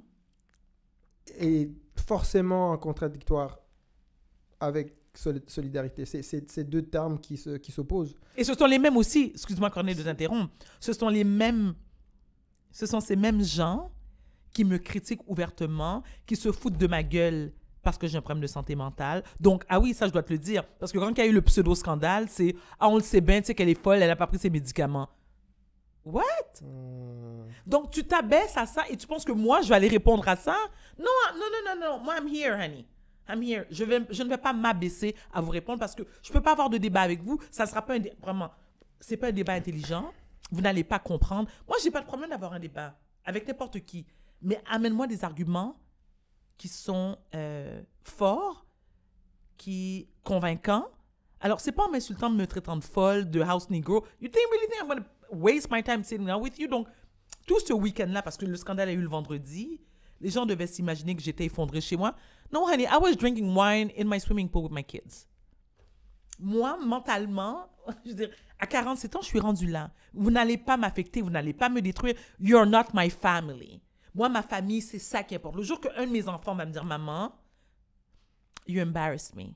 Yeah, that will affect me. Mais quelqu'un que j'ai jamais vu, qui prend son temps, qui, qui m'insulte seulement derrière son clavier, oh please. Oh non. Non, non, non, non, non. Je peux pas te donner ce... Non, I will not give you that power. Non, parce que j'ai assez confiance en moi. Et comme j'en dis toujours, je suis arrivée, j'ai réussi dans ma carrière par moi-même. J'ai pas été élue par vous. Mhm. J'ai pas été élue par vous. Bon, C'est, c'est, euh, c'est, euh, tu te parles de, de- de- d'élection, c'est, ça- je sais plus, ah, je, je me rappelle plus avec qui j'en parlais. Euh, je me rappelle plus avec qui j'en parlais. Euh, c'était peut-être Anthony, Anthony Cavana. ouais. Mais on, on parlait de la, par- on parlait de la particularité d'être une personnalité publique noire et, les, et les spécificités qui viennent avec ça. Que tu dois être un modèle, que tu dois être une idole. C'est ça. Why? Oui. Est-ce qu'on demande aux blancs? Je veux dire, why? C'est, c'est et, et, Ah! et du poids et du poids que- qui vient avec. Clairement. Euh, Et quel poids? Et, quel, quel poids? poids? C'est-à-dire que je, comp- Ouais. je comprends que quand euh, tu vis, surtout nous qui vivons, euh, Dans l'œil du public. non, mais j'allais dire les Noirs de la diaspora, Oui. euh, qui vivons dans un, ouais, dans, dans des sociétés où on est, on est en infériorité, en infériorité euh, numérique. Mm-hmm. Oui, oui, clairement, oui, on, c'est on- ça. on- on est moins, on est moins. Donc forcément, euh, ne fût-ce qu'économiquement, Mhm. les choses vont pas toujours dans notre sens. Sinon, Clairement. presque jamais. Bon, Oui. Ça, c'est c'est un fait. Oui, absolument. Euh, quand tu arrives à te, te- te- t'extirper de ces, de, ces, de ces circonstances, tu es une exception. Et donc, les autres qui te regardent monter se disent tu es porteur d'un espoir. Oui. Do not stain it. Mais staining it, ce que moi j'entends par staining it, c'est je vous fais vraiment honte. C'est-à-dire que je, Ben suis, oui. je suis arrivé là-haut, je fais le cave. Et non seulement ça, c'est qu'ils vont, ils vont toujours mettre en doute la façon dont tu t'es pris pour arriver en haut. Tu peux pas arriver en haut euh, de façon... euh, attends, je vais trouver le bon terme. Sans passer par un chemin, tu sais, où est-ce qu'il n'y a pas une magouille. Treacherous. T'as as dû trahir quelque chose ou quelqu'un ou quelques, quelques, quelques valeurs, quelques principes. Tu sais, moi, je ne l'ai jamais caché aussi. Ça a été écrit dans mon livre. Ben, tu es sûrement au courant. Durant toute ma période à Musique Plus, j'ai fréquenté Moses Naimer, le président de Musique Plus. Ah, ok. je- Très tôt. Très tôt, ça a duré quatre ans jusqu'à ce qu'à un moment donné, je fasse, ben écoute, non, j'en veux, plus. Deuxièmement, je et ça, c'est un hasard de circonstance, c'est-à-dire que j'avais pris ma décision de quitter Musique Plus et j'ai eu une offre à TVA. Mais ces quatre ans où j'ai passé avec Moses Naimer, tu sais combien de blacks, et je dis bien les blacks, m'ont reproché de, oui, on le sait, elle a couché avec lui pour faire avancer sa carrière. Et que j'étais en extase devant le maître blanc. I'm like, let me tell you something. Let's start by saying this. I'm not infatuated with white people. White people are infatuated with me. Can we start with that? C'est pas, c'est pas de ma faute, j'y suis pour rien. hein. And I'm like, attends, j'avais le choix. I mean, pour moi, c'est je baise le président ou je baise le concierge de la boîte? I mean, really? Est-ce que je suis opportuniste? Maybe. Mais d'un autre Bah, côté, c'est que on l'est tous un petit peu. Je veux dire, that's- De it's, it's- mais- it's the way of, it's the way of the world. non C'est seulement quoi ça. l'opportunisme? C'est euh, trouver euh, l'opportunité and euh, Non, mais ce que les gens oublient, c'est que avant de me retrouver dans le lit de Moses Naimer, mais j'étais à l'école. Tu Oui, c'est ça. C'est ça. Ouais, ouais, c'est ça. C'est pas comme si que Moses Naimer m'a ramassé au coin de Saint-Laurent, Sainte-Catherine, m'a dit, oh, you're cute, you know what, we'll have sex and you'll become a, VJ. Non! J'ai quand même deux bacs universitaires. Donc, je me suis... Puis devant la caméra, you delivered. I did. Oui. I- je- sans prétention, j'ose croire que I did deliver. 100. Et Ouais. merci. Et en 25 ans de carrière, même si que ma carrière n'a pas atteint peut-être le niveau que certains s'attendaient, j'ai toujours travaillé. J'ai jamais manqué de boulot. Jamais. Donc pour moi, T'as as toujours été, euh, t'as toujours été relevant. Il y a pas de. alors moi, c'est sorte de has-been, not has-been. Ah, mais ça. Je, suis quand même à TVA. Tu sais, je suis pas dans un quatrième sous-sol, euh, tu sais, dans, dans un studio de Chibougamau ou de Sainte-Thérèse. Tu comprends? Je suis à TVA, qui est quand même la station euh, qui a le plus haut code d'écoute au Québec. Euh, J'ai écrit quatre bouquins. Le premier sur la maladie, j'en ai euh, sur euh, la maladie mentale euh, maudite folle, j'en ai vendu quand même 117 000 copies. 100 117 000. Un best-seller au Québec, c'est 3000. I mean, Jeez. really? Euh, J'ai fondé deux, deux compagnies de cosmétiques, I've raised Children, j'ai été porte-parole de la santé mentale. Je suis très Non, non, impliquée avec, avec... Parce que ça, c'est un autre truc que je dois... c'est important pour moi de le mentionner, plus pour me faire, leur fermer la gueule, la vérité. Et je dis ça avec beaucoup de politesse. Moi, je suis très impliquée en Haïti. Tu sais, je vais me rappeler, et c'est pas pour me lancer des fleurs, mais je suis obligée de... Parce que j'ai toujours l'impression qu'il faut que je me justifie de Oui, ce que ouais, je ouais, fais. je comprends, ouais. Lorsqu'il y a eu les inondations au Gonaïve, euh, keep in mind that I was born here, Mhm. OK? Donc, je ne connais pas Haïti tant que ça. Mm. J'y vais souvent, mais je reste toujours dans, dans le même coin. Je suis chez ma famille, je vais à la Ouais, mer, bon. OK, peu importe. J'ai harcelé, je dis bien harcelé, parce que finalement, après 50 coups de téléphone, j'ai réussi à joindre Pierre-Carl Pelado à 4 heures du matin. Je l'ai réveillé dans son lit pour dire Pierre-Carl, je t'explique qu'il y a une urgence en Haïti. J'ai besoin de l'avion de Québécois. Je veux aller en Haïti. Je veux emmener des médicaments, de la bouffe. Je veux contribuer. Il m'a dit Varda, you harass me so much. Take the goddamn plane and leave me alone. J'ai pris l'avion. Attends. Véridique? Ben, tu peux vérifier? Oui, ben oui. Je suis mais- parti avec René Claude Brazo. On est parti. Mais attends. Pierre Carl de me demander, ça je peux le comprendre parce que on parlait d'opportunisme tout à l'heure. Il me dit Oui, mais comme c'est une belle action, est-ce qu'on peut filmer? Non Tu filmes rien. C'est pas. I'm not doing a show. Je vais aider les gens en Haïti. I don't need a freaking camera on my face. J'ai besoin de ton avion gratos parce que j'emmène des vivres, j'emmène des médicaments, j'emmène des vêtements. Je suis partie et je remercie et je vais être reconnaissante envers Pierre Carl toute ma vie. Avec l'avion, j'ai été, j'ai été faire ce que j'avais à faire. Je suis partie une semaine, je suis revenue. Tu sais qu'il y a des membres de ma communauté, et je ne vais pas les citer parce qu'ils savent exactement qui ils sont, qui m'ont reproché d'avoir utilisé mes contacts pour aller aider les gens en Haïti. What the fuck are you talking about? Of course que je vais utiliser mes contacts. Je veux dire, qui, Ouais. je veux dire, si toi, Corneille, demain matin, Mm. tu as, tu as la, la- la possibilité de demander à Pierre Carpelado qui te prête l'avion de Québécois pour aller faire une bonne œuvre au Rwanda, tu vas dire non? I'm just saying. I'm just saying. Moi, il n'y a pas personne de la communauté haïtienne qui m'a donné du fric pour aller que j'ai emmené là-bas. J'ai frappé chez des artistes, que ce soit Michel Barrette, que ce soit euh, euh, Pierre Arcan, mon ancien patron. Tout le monde m'a donné, hein? Tout le monde m'a donné. Moi, c'est ce qui m'importe. Tu sais, quand je, quand je vais faire du bénévolat à Noël et que je vais aider des familles défavorisées et que j'amène des cadeaux de Noël et que j'emmène à bouffer, j'ai pas besoin que de faire la couverture du 7 jours, ni que ma face soit placardée sur Facebook ou sur Instagram. I do it because I mean it, because I want to make a difference. Donc, tu penses que quand ces gens-là essaient de me diminuer, de me rabaisser, I care? Non. I know what I'm doing. Ouais, ouais, Je ouais. sais ce que je fais. Il y a des gens qui ont besoin de, ils ont ce besoin sempiternel d'être mis de l'avant pour dire, tel, qu'est-ce qu'un tel fait pour la communauté? Il y a des gens de ma communauté qui font des dons pour avoir un reçu d'impôt. Plain and simple. Mm. Tu veux que je nomme des noms? non, on fera pas ça. On fera Parce que j'en ai. Ah, Tu comprends ce que je veux dire? Ben oui, je comprends. Ça, Ce je sont trouve ces ça... mêmes gens qui m'attaquent. Ben oui, oui, oui. Euh, euh, je That's pense que tu... J'ai le dos large. Je pense que tu ne mérites pas le badge de la solidarité. Peu importe ton groupe identitaire. Tu mérites pas, tu mérites pas le badge de solidarité si tu n'as pas de compassion pour celui que tu appelles ton semblable. Et c'est quoi? Et Ça- tu l'as dit tout à l'heure. Ça, ça, ça ne marche pas. Il, il faut avoir de la compassion, peu importe. Les circonstances et envers qui? faut- oui, si, si, si, si, si c'est si c'est ça la game que tu veux jouer. Exact. Si tu veux jouer la game de, du, euh, de, de l'identitairement, de, de, euh, euh, cohésif, puis on a un groupe, puis on se tient, puis ça c'est Mhm. nous. This is us. us, Right. Souvent c'est us against The them and world. them, Oui, ça? against But the world. if, Ouais. if the us exists, Mhm. then we ought to have compassion within that group. Mais tu as dit un truc qui est intéressant parce que moi, je me suis posé. Et, et- et on m'a souvent reproché ça, justement, maintenant, parce qu'avec l'ère du, du Black Lives Matter, c'est. Tu dois être un exemple de quoi? Moi, euh, alors voici comment, selon moi, je dois être un exemple. Mm. C'est de démystifier la maladie mentale, Oui. surtout au sein de notre communauté. Oui, oui, oui. C'est hyper tabou. Corneille, je ne peux pas te dire. Est-ce que et tu c'est- il y a des proportions? Est-ce qu'il y a des chiffres de. de- Écoute, j'ai j'ai pas, malheureusement, j'ai pas de chiffres, mais ce que je peux te dire, Ouais.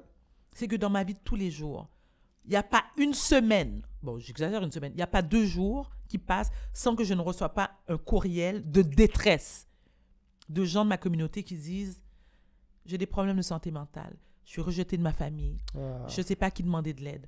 Euh, les gens rient de moi, ils me jugent. Par semaine, 30, 40 messages depuis 10 ans, depuis la- l'apparition de Maudite Folle, depuis mon bouquin. Et les gens, lorsque j'offre mon aide, moi j'ai offert. Quand, lorsque je fais des conférences sur la santé mentale, je peux te dire que je charge dans les cinq chiffres et on me paie les cinq chiffres. J'accepte seulement de faire des conférences gratuitement, c'est pour ma communauté. Lorsque j'offre mes services,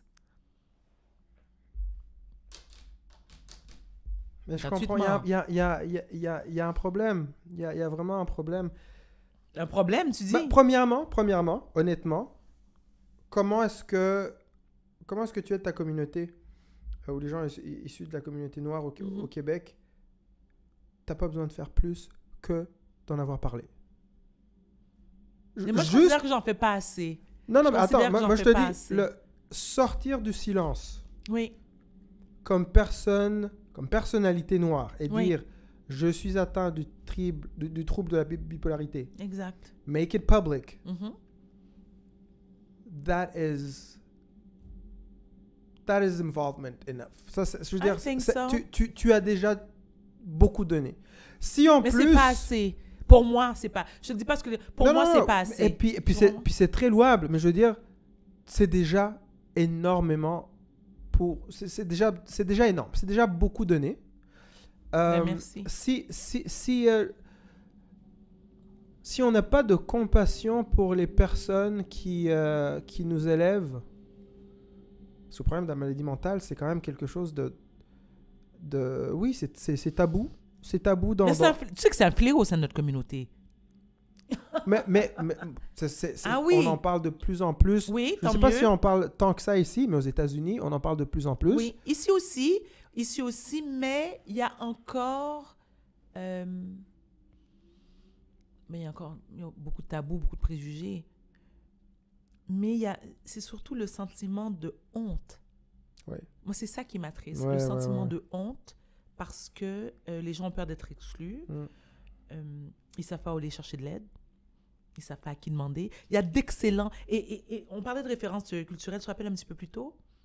Il y a d'excellents psychiatres et psychologues issus de notre communauté, justement, qui peuvent comprendre Mhm. les problématiques de notre communauté. They could relate to each Mhm. other, to one another.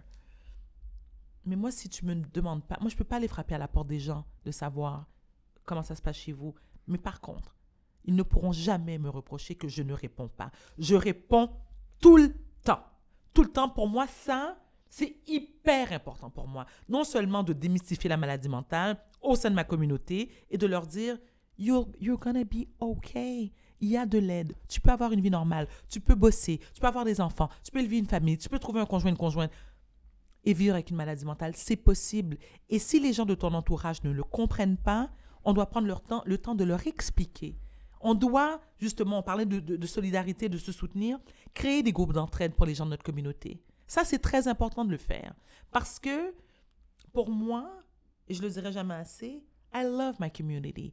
I care about their welfare. I truly do. And I know as a black person, mon combat que j'ai mené et que je mène encore, lorsqu'on parle de maladie mentale, non seulement au sein de ma communauté, mais à l'extérieur aussi. Bien sûr, c'est pas. Ouais, bien sûr. Donc, oui, moi, mon devoir, I think it's my mission in life. I truly believe it's my mission in life. Vraiment. Il n'y a personne qui va me convaincre du contraire. Personne. So that's why I'm telling you, I don't care what they say. Moi, je sais que je le fais de tout cœur. I mean it. And like I said, I care about their, their, their, their welfare. Moi, ma porte est ouverte. Hein. It will always be open for them, for, for them, mais pour tout le monde, mais particulièrement pour les membres de ma communauté. Parce que je suis une personnalité publique. Moi, je connais pas d'autres personnalités publiques black qui a un trouble de santé mentale au Québec, qui le dit ouvertement. Non, puis fait- non, moi non plus. J'en connais pas. Ouais. Donc, Ju- juste pour ça, you should be celebrated. I think so. Some, Juste but pour some ça. people do. Mais quand même, attends, je ne vais pas généraliser parce que je dois dire aussi, il n'y a pas que. Je ne suis pas seulement victime de. de Peut-être pas le terme victime, mais. Non, j'imagine que non, non, j'imagine que non. J'imagine que tu as du soutien, évidemment. évidemment. Ah oui, Bah oui, bien sûr. Oui, il y a des membres évidemment, de ma communauté ouais. Qui, qui reconnaissent mon Bien sûr. talent, qui me remercient. Euh, Bah, J'irais même, je, je- c'est peut-être, je m'aventure un petit peu, euh, je, je dirais même qu'il est fort probable que la grande majorité te soutienne. C'est juste que Ouais. les plus, ceux qui font le plus de bruit sont souvent euh, ceux qu'on entend le plus parce que ils sont, ils ont plus de passion. Puis, euh, Ouais. Mais, mais je, je pense que tu as beaucoup plus de soutien que, que, que, que tu Ben, n'as pas within the community. J'ose Et puis de toute façon, de toute façon, le plus important, c'est pas the community at large. Le plus important, Non, exact. c'est ceux qui sont the ones you're trying to help. C'est Exactly. eux, c'est eux, puis tu es là pour eux. C'est pour ça que je dis, tout ce que tu fais, les conférences euh, que, tu, donnes, tu peux donner gratuitement et tout ça, Ouais. ça c'est du gros bonus. Mais le simple fait que tu aies écrit, moi, je, quand, quand ce bouquin est sorti, j'étais comme, ok, that's courage. Ça, ça non seulement c'est du courage, Mais je Mais- voulais pas de pitié, hein. That's very important for me. Parce que moi, pour moi, la pitié, c'est le pire sentiment qu'on peut éprouver envers un, un être humain. La pitié, c'est the Bah, worst thing. ben oui, parce qu'il y, a- y a toujours une grande partie de condescendance dans le, Exactement. il y a- il y a quelque chose qui te regarde comme ça, qui te, qui te dit euh, Ah, poor you. Poor you. Exact. Ouais, je- bien sûr. Non, moi, je voulais sûr. vraiment. Le, le but premier, c'était de. Non seulement démystifier la, la, la santé mentale, mais c'était aussi. Je voulais m'excuser De... d'avoir eu des comportements répréhensibles. That's fair. Tu vois, il y a des gens que je sais que j'ai profondément heurtés, Mhm. blessés, euh, injustement, qui ne méritaient pas que je les traite de cette, de cette manière-là. Donc, ces gens-là, avant de le faire publiquement, je les ai appelés pour m'excuser. Parce que moi, je suis capable de m'excuser. Quand j'ai tort, je suis Mais capable ça, de mais ça, c'est grand, ça. Donc ça, ça vient avec l'âge. hein. Ça n'a pas toujours été le cas. Mais oui, mais je veux dire, il faut quand même qu'il y ait des avantages à vieillir, euh, quand on doit s'assagir, on doit Oui, maturité. Je, je- je- je- je vois des parallèles avec toi. C'est-à-dire que j'ai souffert de beaucoup de choses de ma vie, mais je n'ai pas souffert de la douleur originelle qui est celle de ne pas avoir été aimé par ceux qui, ceux, ceux-là même qui, étaient, qui sont censés être ceux qui t'aiment le plus. Exact. C'est ce qui m'a sauvé, c'est ce qui me sauve toujours. Exact. C'est ce qui m'a donné la force. Donc, C'est quand même pas banal ce que tu as vécu. non, c'est pas banal. J'aurais pu m'en sortir complètement. Wiou. Tu aurais même pu te suicider. Ah, mais clairement, mais cl- clairement, clairement. Puis, tu sais, les parties où tu décris euh, les symptômes de, du, du- du trouble de, de bipolarité, où tu dis Ouais. tu te sens, tu sais, le high, où tu te Ouais. sens au-dessus de, la- de, de, la, La mêlée, moyenne, puis euh, tu te mets en danger. Je l'ai fait aussi. Moi, ça a été triggered par la notoriété, une trop grosse notoriété. Et, et rapidement. Rapidement, rapidement. Moi, je suis littéralement euh, hiver 2001. J'étais dans mon petit appartement en face du métro Longueuil. Oh Ok? my God. Really? Oui, ok? Hiver 2004, Ouais. euh, ou euh, un peu avant, après, j'étais à l'Élysée en train de serrer la main à Jacques Chirac, Et t'avais quel âge? le président de, de- de la République française. T'avais quel âge? 26. Ah ouais, that's real fame. Tu sais, c- C'est le que, petit gars du Rwanda qui passe. Ouais, ouais, quand même. you know, Ouais, à serrer la main de Jacques Chirac, j'avoue que c'est quand même pas banal. mm, je faisais des C'est un shows. big step up. Je faisais des shows, des festivals, puis Ouais. euh, je jouais, puis il y avait Patti Smith juste avant, avant moi au festival de jazz. Je poussais la, la porte, puis il y a quelqu'un qui l'a bloqué, je regarde, puis c'est Bono, puis c'est euh, le gars d'R.E.M. That's the, that's the start of my career. Wow. Fait que j'ai eu des moments de... Ah, Qu'est-ce qui se passe? exact. Qu'est-ce qui se passe? Oui, j'ai roulé à 250 dans ma Porsche, puis euh, comme un fou. Ouais. Je cherchais le trouble. Ouais. Je- I, could, I could relate to that. Tu sais que c'est une forme de suicide quelque part. Bah, bien sûr. c'est une forme de Bah, suicide. bien sûr. Ouais. Je- à ma façon, Bien je, sûr. je cherchais, je, je courais après la mort. Oui. Puis de, so I could really relate to that. Mais pour revenir au, au, euh, au- au 7 avril de chaque année, il est attendu de moi que je choisisse un camp. Ah non. Oui. Pas, non, non, pas genre Hutu ou Tutsi. Oui, oui, il faut que je. Ah non, Il mais, faut- mais- il- mais c'est- on peut pas te demander ça, t'es les deux. Mais c'est-à-dire que. That's crazy. Non, mais c'est- c'est- c'est-à-dire qu'il faut, il faut être clair. C'est-à-dire qu'il y a le- le- le- la chose qui soulève les passions chez les Rwandais, c'est euh, comment on appelle cette chose qui s'est passée? Alors, moi, je pars du principe qu'il faut l'appeler le génocide Oui, des Tutsis Oui. au Rwanda. ben oui. Bon. Mais il n'y a pas d'autre chose. Beaucoup de gens qui estiment que ça doit être appelé le génocide rwandais parce qu'on a, on a, on a tué, on n'a pas tué que des, que des Tutsis. C'est un argument qui peut se défendre. Mais, Sauf que moi, je dis, bah, si c'est un génocide, c'est qu'il y a un groupe ethnique spécifique qui a été exterminé. exterminé. Exact. Le groupe ne s'appelle pas le groupe rwandais. Voilà. On peut on, call the thing a thing. That's right. And then let's talk you. about les Hutus qui ont été tués. Voilà. Ex- But I mean, hello. Like, do you really have to explain that to people? Every year. Ah non, ok, arrête. Non, mais là, là, Every year. là, Puis les fois, et les fois où je me suis trompé parce que j'ai juste dit. euh, parce que les cinq dernières fois que j'avais entendu parler du génocide au Rwanda, il, it had been referred to as the Rwandan genocide. Mhm.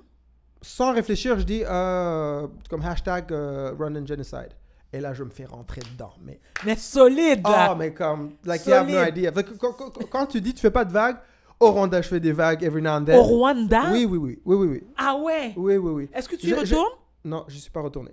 Je suis pas retourné, puis ça, ça, ça, ça créé la polémique aussi, des fois. Puis je me rappelle qu'à une Ça époque. crée la polémique. Mais Ouais, est-ce ouais, que à t'as une le droit- époque, il y avait. Non, mais attends, attends, attends. Est-ce que tu as le droit, en tant qu'individu, de ne pas souhaiter revivre ça et que tu n'es peut-être pas prêt ou tu n'as simplement pas envie et que tu n'as surtout pas à te justifier? Le poids de la personnalité noire.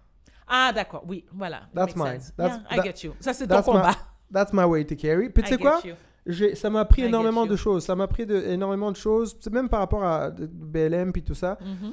Parce que j'ai cette expérience-là, je me dis, c'est quoi cette susceptibilité-là? Je la comprends. Mhm. Parce Moi que les aussi. Rwandais,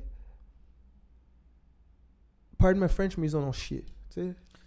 Et, ils ont. Oui, beaucoup. On, a traversé des choses qui sont, qui, qui sont difficiles à, à- décrire. Mhm. Euh, on, on- on a connu un genre de viol collectif. Pas un genre, c'est un viol collectif. C'est un viol C'est un viol collectif. collectif. Appelons un chat un chat. C'est un viol collectif. C'est comme ça que je le perçois. C'est un viol du psyché collectif Oui, absolument. C'est-à-dire que moi, ce que je traîne, d'une façon ou d'une autre, je vais le transmettre à mes, en- à mes enfants. Cette espèce de, de haine que j'ai traînée avec moi Oui. pour, pour mon pays, donc quelque Oui. part pour mon peuple aussi. Oui. Je... Aujourd'hui, je dis bonne nuit à mes enfants en trois langues. J'en parle quatre. Devine dans quelle langue je leur dis pas bonne nuit. Le Kinyarwanda. Till this day.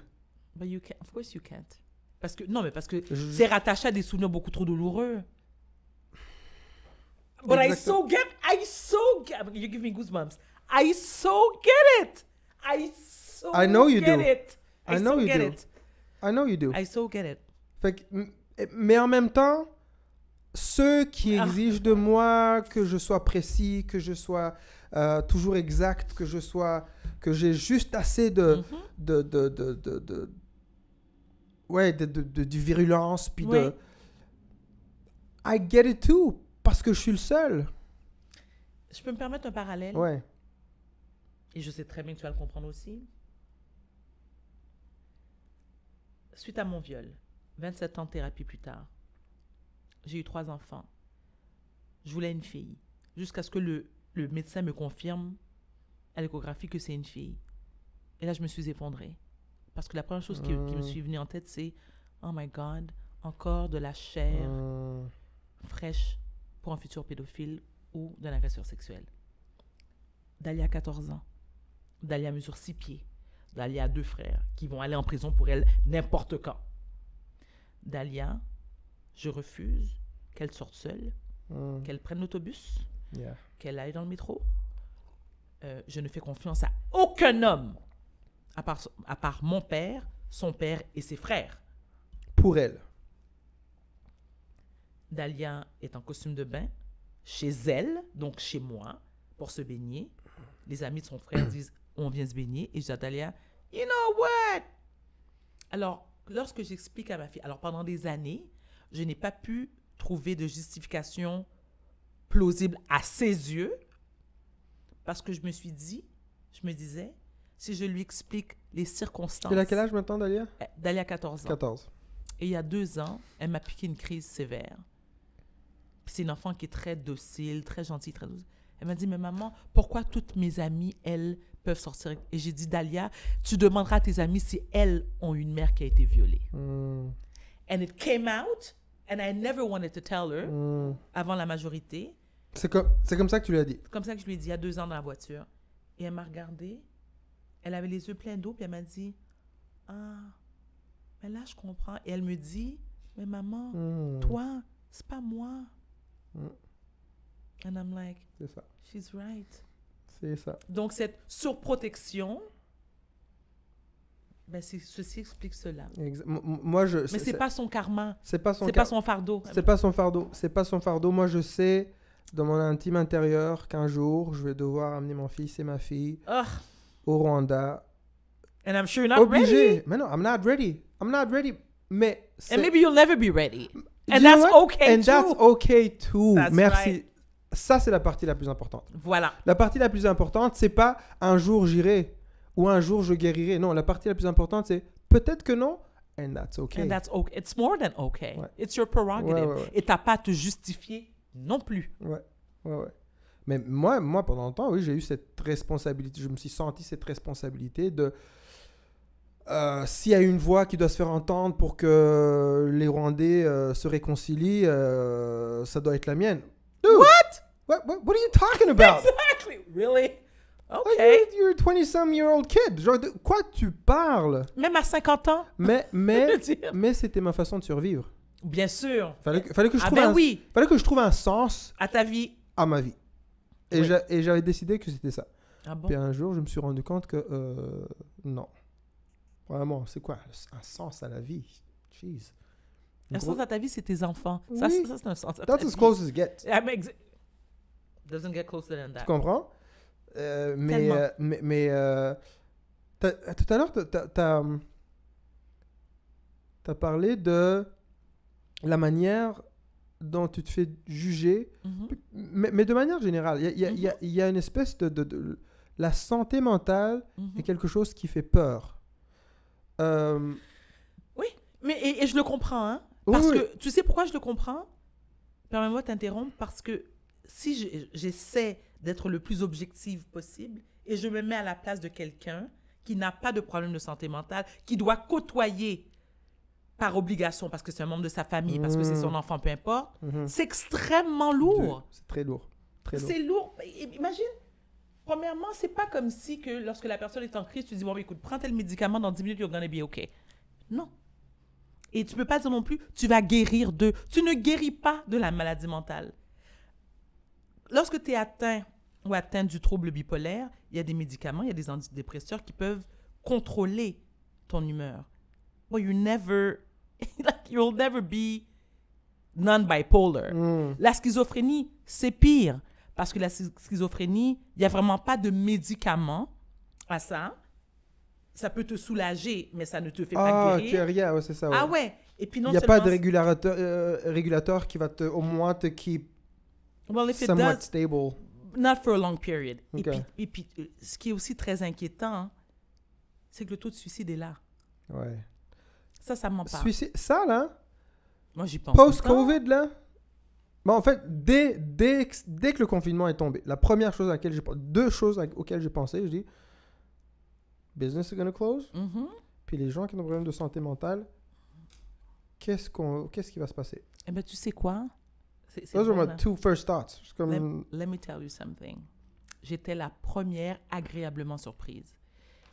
Pendant le confinement, je reçois un appel de Marc Labrèche, que j'adore, qui me dit Varda, je vais faire une entrevue avec toi parce que je me suis posé la question à savoir comment tu allais. ah, c'est cool ça. Ça, c'est dope. beaucoup apprécié. Ah, ouais. Je n'ai jamais été aussi bien. Et je vais t'expliquer pourquoi. De un, moi, je suis en excellent terme avec le père de mes enfants, qui a passé une grande partie du confinement Thank God. Ça, c'est. euh, à la maison. ouais, ouais. Donc, j'avais l'impression de retrouver, pas j'avais l'impression, j'ai retrouvé cet esprit de famille, euh, cette proximité. Everything was like normal again. Euh, et c'est quelqu'un qui est vraiment d'humeur stable, très agréable, qui n'a jamais de mauvaise humeur. C'est un parent, c'est un père exemplaire. It's like the perfect. Tu vois, il y, a, Mm. il y, a, il y a papa et il y a Et Daniel. lui. Et il y a Daniel. Mais t'avais un bon modèle. Déjà. tu l'as choisi. Déjà. Mais et, et puis c'est drôle, comme papa, c'était pas des bons maris. Ah? Ouais. C'était pas des bons conjoints. Ah, ok. ok. Mais ce sont d'excellents pères. Hmm. Bon. Mais ça, ça, ça, that's another subject. C'est pas, c'est pas la même fonction. Non, exact. Mm. Et un n'empêche pas l'autre non plus, Non. clairement. Mais j'avais l'impression. Ah, c'est difficile tout- d'être mauvais père puis d'être bon conjoint, par contre. Ouais, ça, t'as un point. Yeah, that's Dans right. un sens, ça marche dans l'autre. Ouais, c'est vrai, t'as Ouais. raison. Mais j'avais l'impression que tout le monde vivait la même chose que moi. C'est ça. que le Tout temps à- s'est arrêté. Oui, oui, oui. oui. Donc, il n'y avait pas de, de, de facteurs, de stresseurs extérieurs. Hmm. Everybody was at home. Est-ce que, est que ça te rend plus sensible aux stresseurs bah, qui affectent tout le monde? Est-ce que toi, tu y es plus sensible à cause de ta condition ou c'est juste... euh, Euh, je pourrais te dire que tu parles en- pendant la période de... Non, en général, en général. Ah oui. Oui, oui, ok. Oui, moi, tu sais, tout ce qui déroge de ma routine me rend extrêmement anxieuse, et peut me faire tomber. Là, Ouais, je ouais. rechute. Un déménagement, moi, c'est la fin du monde. Changer de parcours lorsque je vais quelque part, c'est la fin du monde. Ne pas dormir, et je dors peu, malheureusement, parce que les antidépresseurs font en sorte que euh, ça stimule beaucoup mon cerveau. Donc, moi, je suis debout tous les matins que le bon Dieu amène à 4 heures. Donc, je dors tous les jours de midi à 2 heures. Je dois dormir. My body crashes at noon. 12.15, my body crashes. J'ai- alors, j'ai juste il y a quelque chose, moi, ça, la maladie mentale, ou tout ce qu'on appelle maladie mentale, Ouais. ou, euh, ou euh, les, euh, les- Comment dire, les, les états, cog- pas cognitifs, parce que en tout cas, c'est, tout cas, c'est pas ça, mais en tout cas, les états mentaux qui sont abnormaux, des Ouais. trucs comme ça, ça m'intrigue beaucoup parce que je me, dis, je me demande toujours, est-ce qu'on fait une. Est-ce qu'on fait vraiment la bonne lecture médicale de ces syndromes-là?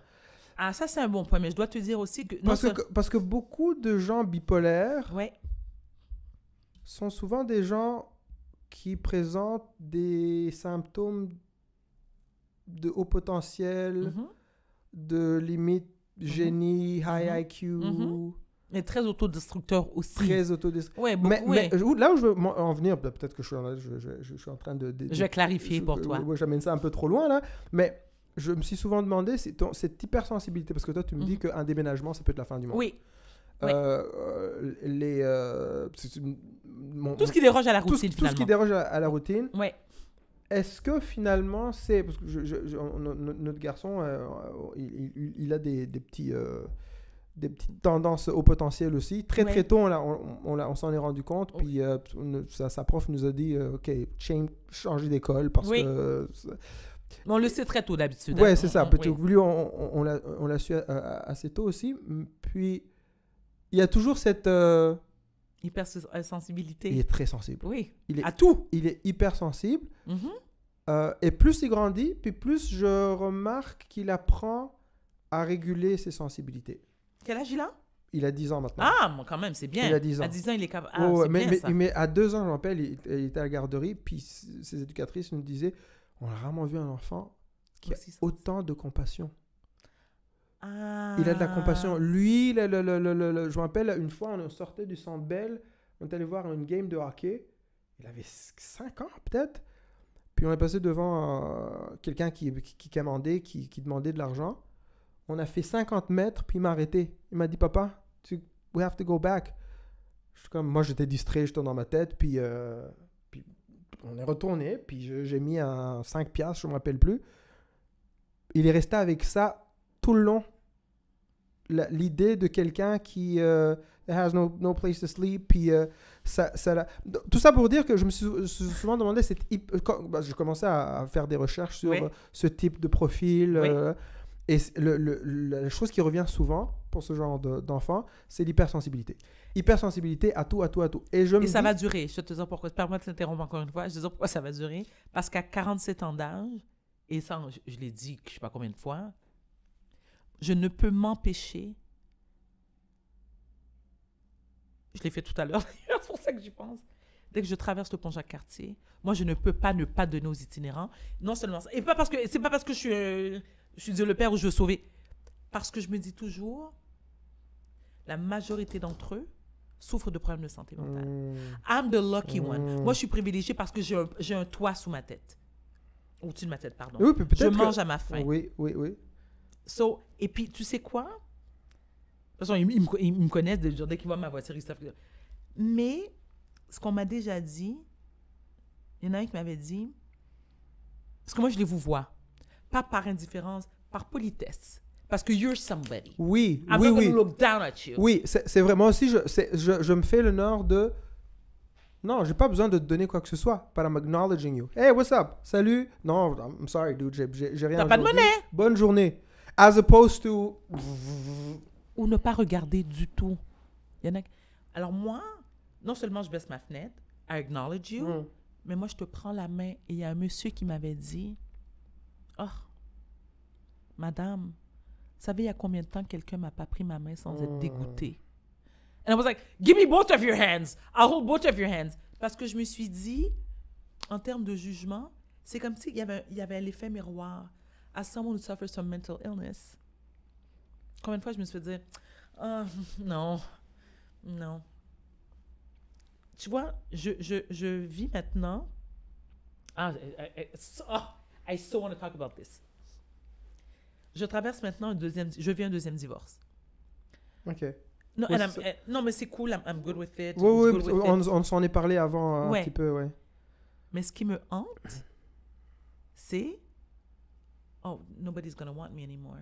Hmm. Ah, I'll have to explain that I have a mental illness. And if I don't have to explain, j'en ai tellement parlé publiquement, tout le Québec sait que je souffre de problèmes de santé mentale. Ouais. Donc déjà là, je peux même pas le cacher. Et je sais qu'il y a des hommes qui vont faire Eh, ça sent le trouble.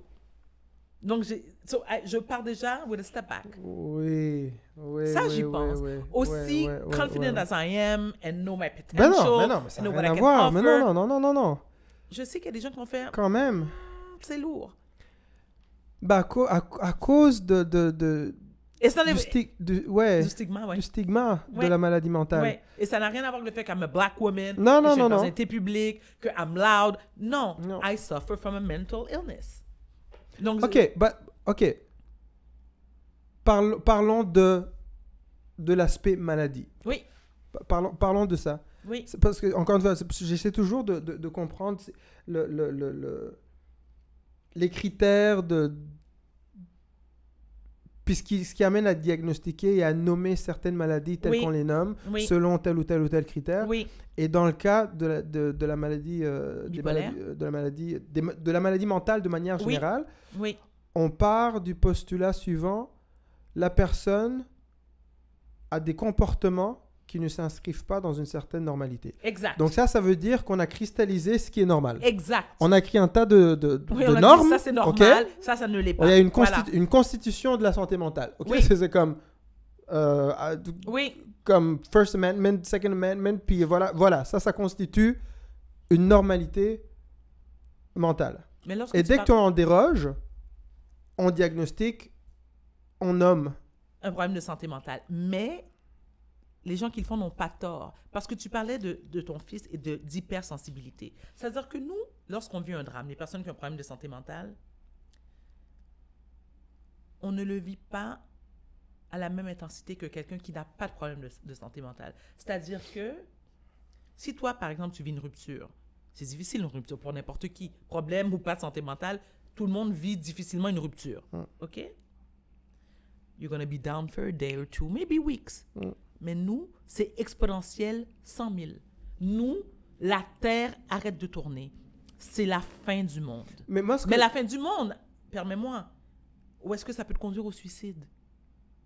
Ok, alors ça, c'est la question que je me pose. Oui, C'est la fin du monde. oui, On parle d'une... C'est une question de degré oui, d'une émotion qui, elle, est normale. oui, mais qui, voilà, mais qui est intensifiée Qui est à cause de la maladie. À cause de la maladie. Oui. Donc, if I have a good news, when I get good news, c'est comme quelqu'un de normal qui a gagné à la loterie. C'est l'euphorie, c'est l'extase fois 10 000. Je vais dire quelque chose de complètement insensé. Vas-y. Et si c'était ça la normalité? Parce que. Non. Tu sais pourquoi? Parce que c'est douloureux. Autant Oui, parce, oui, parce que c'est dou- que- douloureux physiquement. Et non, et, psycho- et- non, et ça, ça a des conséquences. Non, parce que, je veux dire, parce que psychologi- le, le psychologique, c'est toujours compliqué. hein, oui, exact. Mais quand physiquement tu réagis, it is what it is. C'est que tout à l'heure, tu, tu tu me disais, tu as des palpitations. Ah oui, oui, oui, oui, oui. Oui, Ouais, ouais. oui, oui, Donc- puis je mange pas, je, oui, je, je peux cesser de m'alimenter pendant 48 heures. Je, je- je dis ça, ça, ça a l'air un petit peu. euh, euh, ça, ça a l'air pété un petit peu, mais je dis ça parce que je me pose souvent la question. sur- J'observe mes enfants. Mhm. Je les vois grandir. Oui, Je les vois passer de l'âge absolument génial oui. De, de ce qu'on appelle euh, l'innocence euh, l'innocence infantile, mais Mhm, cette capacité qu'ils ont d'être. mhm. D'être. Oui. Et je suis. les vois doucement, doucement basculer vers le paraître. Oui, Et en être conscient. oui, Conscient des codes sociaux. oui. Conscient de ce qu'il faut faire. De ce qu'il peut- Voilà. Tranquillement, je commence à voir mon fils, il sait quand il faut sourire. Oui. Does he really mean it? Non. Non. He doesn't mean it. Ok, ok. But Il a, il a has to. compris la game. Il a compris la game. That's it.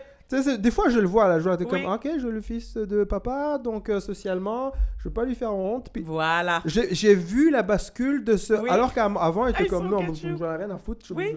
je- je fais le fou, puis euh, fils d'eux, It is what it is. It is what it is. Right? Donc, il commence à intégrer des codes qui lui sont imposés par euh, la société, et par, par une tradition qui vient de je ne sais d'où, qui tend à réduire Mhm, l'être humain mhm. À une apparence Oui, et à se conformer à ce que l'autre attend de lui. oui. Et l'autre étant quelqu'un qui lui-même est pas sûr de ce qui est attendu de lui. Fait que on, on est, on est tous en train de réagir à des règles qu'on n'a pas écrites.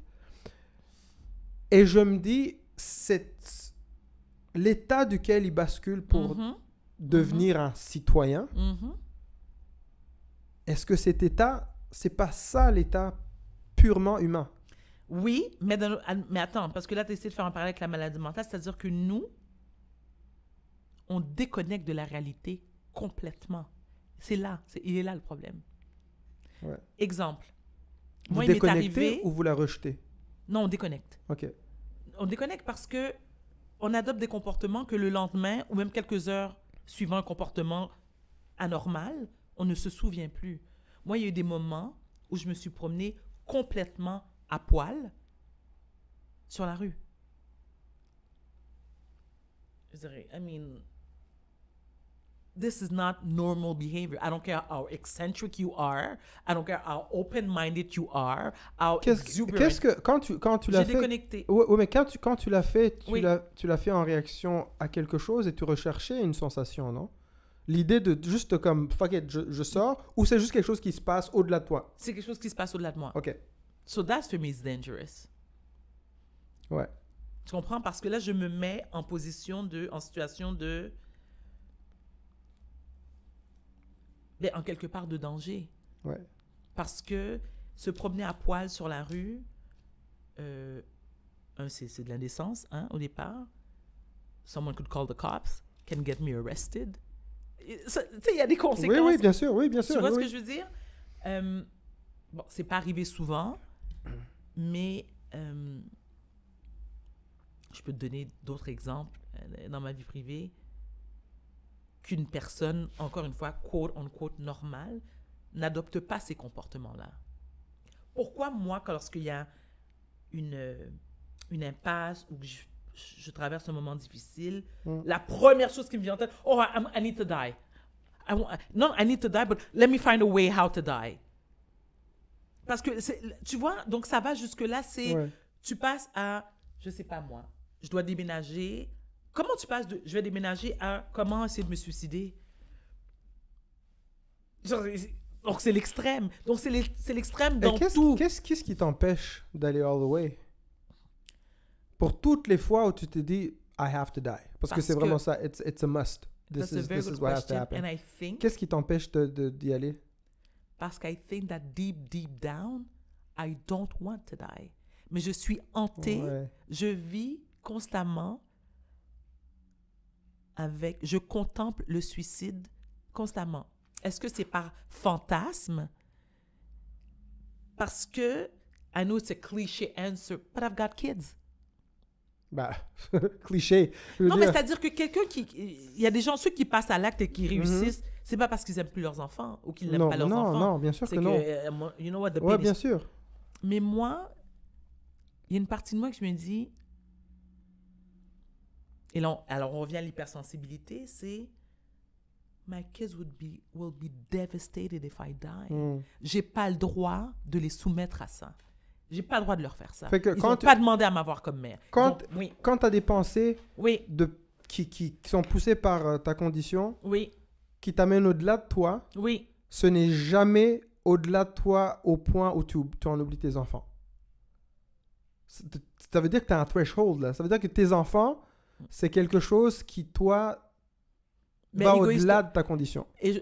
Bah oui, bien bah égoïstement. mais égoïstement. Bien, sûr. Égoïstement. Mais non, ouais. bien sûr. Ouais, mais ça m'a toujours. C'est pas, c'est, pas eux, c'est le mal qu'on aurait parce qu'ils seraient dans la douleur, bien sûr. de un, mais encore plus une considération particulière pour ma fille. Oui. Parce que je me Ouais. dis, ah non, mais il faut que je sois là lorsqu'elle va Pour la protéger, pour, la- Euh, ça prend une peine d'amour. Mhm. Euh, pour l'accompagner dans. I don't want some other woman to do my duty. That's my child. That's my girl. Ouais.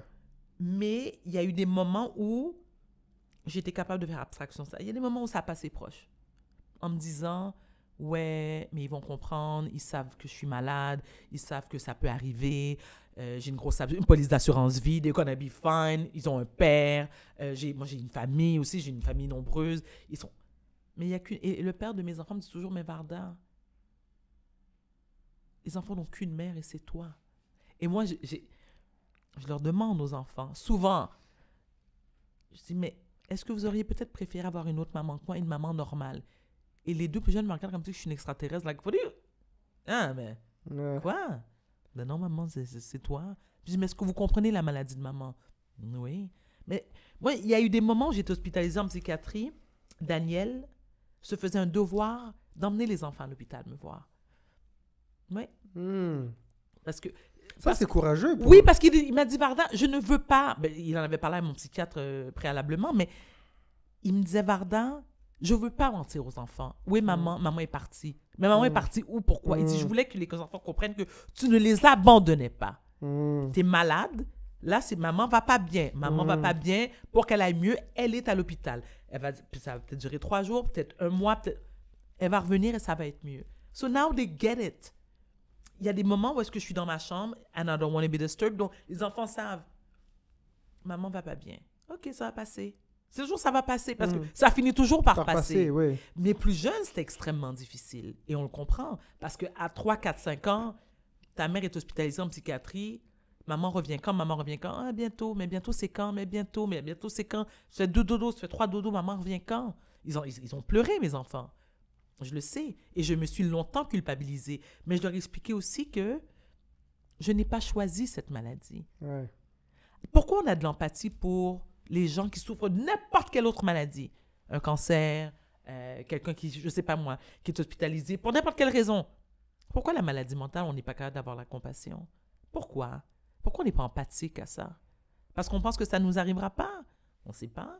Chaque personne, c'est impossible qu'il y a, qu'il y a quelqu'un qui n'a pas, quel- qui n'a pas quelqu'un dans son entourage, de près ou de loin, qui ne souffre pas de problèmes de santé mentale. C'est fou, hein? Et pourtant, c'est vrai qu'on a très peu d'empathie pour ça. Puis parce qu'on déjà, on vit dans une société hyper nombriliste, individualiste. Les gens sont très indifférents à la peine des autres. Parce que, si on se dit tous, ouais, ben, I've got my own life, I've got my own shit to deal with, I don't want to deal with her shit. No, no, I don't have to. Ah And people don't have to, for real, they don't have to. Mais le fait qu'ils don't have to, est-ce que ça t'empêche d'avoir de l'empathie puis de la compassion? Moi, je suis pas dans la rue. Je dors le soir très bien. Mais est-ce que j'ai de l'empathie quand je vois des squeegees puis des itinérants? Absolument.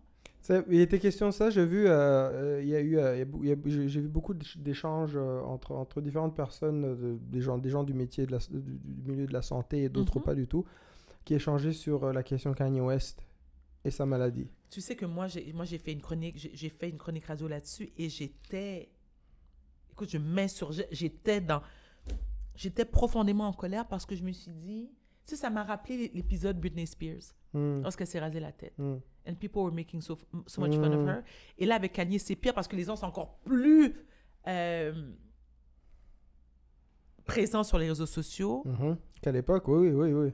And they're- c'est cruel ce qu'ils disent à son sujet. Tandis que moi, lorsque je vois Kanye West, je me dis, premier réflexe, dès qu'il a commencé à ne pas aller bien, je me suis dit, shit, il va pas bien.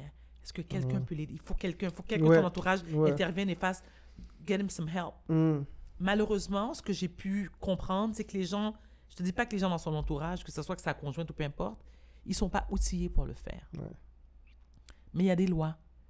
Et tu peux, tu peux euh, faire interner quelqu'un, hospitaliser quelqu'un contre son gré lorsque tu es marié. Moi, ça m'est arrivé. Il faut. Ah oui! Ah ben oui, parce que lorsque tu deviens une menace pour toi-même et pour Mhm. autrui, Mhm. je veux dire, t'es marié, il y, y a Mhm. des lois. Mhm. Donc, tu as le droit. de- et, et moi, je me souviens, mon ex-mari, mon deuxième ex-mari, quand il m'a fait hospitaliser, il était en pleurs. Et il m'a dit, Varda, j'hésitais à le faire, mais j'ai appelé ton psychiatre. Et ton psychiatre m'a dit, monsieur, vous devez la faire interner. Corneille, je me souviens d'avoir mis le feu dans le garage, d'avoir pris un bat de baseball et de détruire la voiture. Et tuer extrêmement. Et attends, c'est que ça se. Il y a une violence verbale. On est d'une Mmh. violence verbale. C'est incroyable tout ce qu'on peut dire à l'autre personne. Qui est une victime collatérale de ta maladie, Ouais, ouais. qui n'a rien demandé. Moi, j'ai été- j'ai j'ai émis des propos, mais horribles, odieux à un point. Puis, puis il faut faire attention parce que oui, la maladie, c'est la maladie qui parle, mais aussi une partie que c'est ma personnalité. Oui, Donc- tout est exacerbé, mais le, le fond est le tien. Ouais, ouais, ouais. Exactement. Donc, est-ce que ça peut faire peur à des individus de, de nous côtoyer de près? Oui, mais moi, je l'ai accepté, ça. Je l'ai accepté. Je peux pas me battre contre ça. I'm- I suffer from bipolar disorder. I will suffer from bipolar disorder until I die. Il y a des pour et des contre. Mais est-ce que... Let me tell you something. Will I change it? Not at all. I love it. Bah, parce- I do, parce que ça... ça C'est quoi? C'est même pas bizarre pour moi. moi je- ça, ça fait du amène- moi, sens. ça m'a amené beaucoup d'avantages aussi. Ma, ma, cré- ma créativité, euh, le fait que I think that, you know, I have a, you know, above average IQ. Euh, et puis, tu sais, le fait d'être over everything. So I'm over happy. Mais aussi, I'm over excited. mais You know what I aussi- mean? Mais aussi, c'est parce que ça, ça te rend utile in a real Et way. me, et ça me, tu sais quoi? Ça te rend utile. I À la feel société, alive, in a real way. And I feel alive. I feel alive. Moi, je trouve que la majorité des gens, sans juger, have a very boring life. People have boring lives.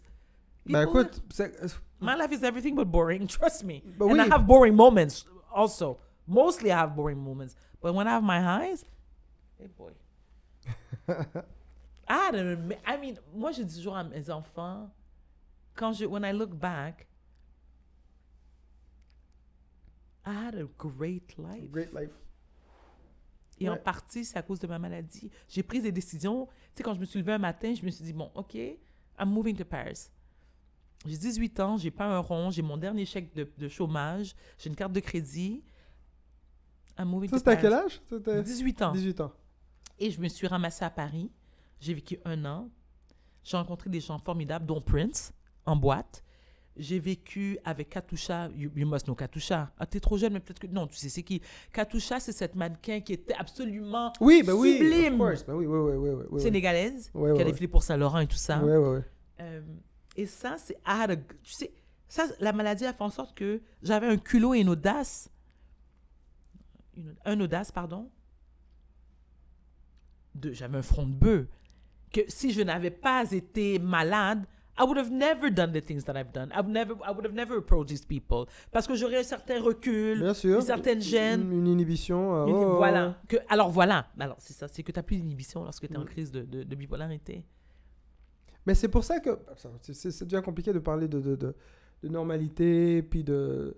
Mais tout à, tout à l'heure, quand je, quand je disais, est-ce que c'est pas ça aussi une autre forme de, normal? C'est parce que tout ce que tu viens de décrire, c'est that aliveness. Puis là, comme.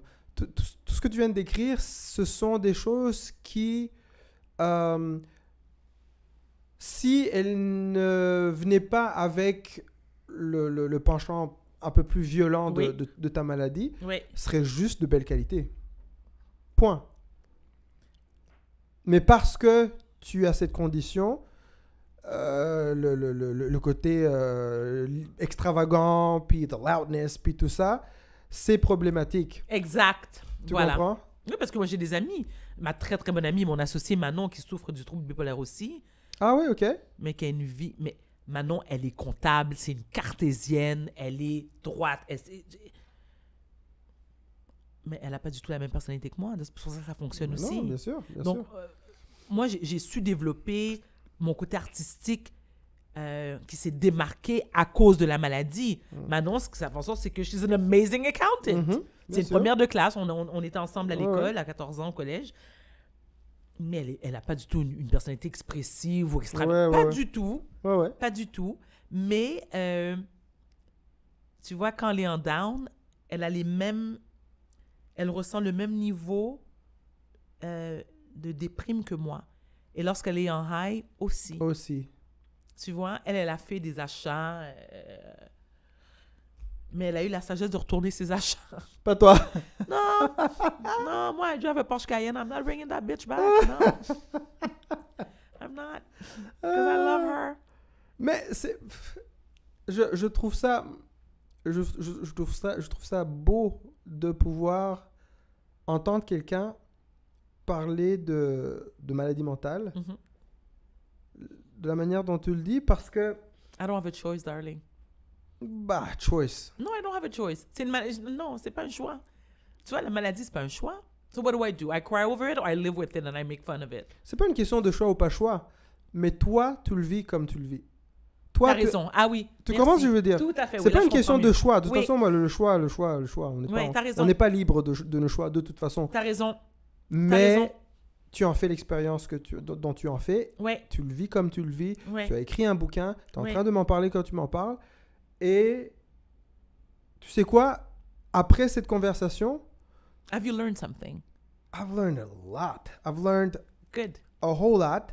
Good. I'm glad. Mais j'avais déjà appris beaucoup juste en t'écoutant parler Ah, publiquement. publiquement. Mhm. Par le simple fait de ton existence, Mhm. j'apprenais sur quelque chose qui, qui devrait me faire peur, qui devrait... euh, euh, c'est moi, moi qui, qui, qui suis dans la musique, qui devrait me faire euh, penser à Kanye West d'une certaine façon. How do you feel about what he's going through?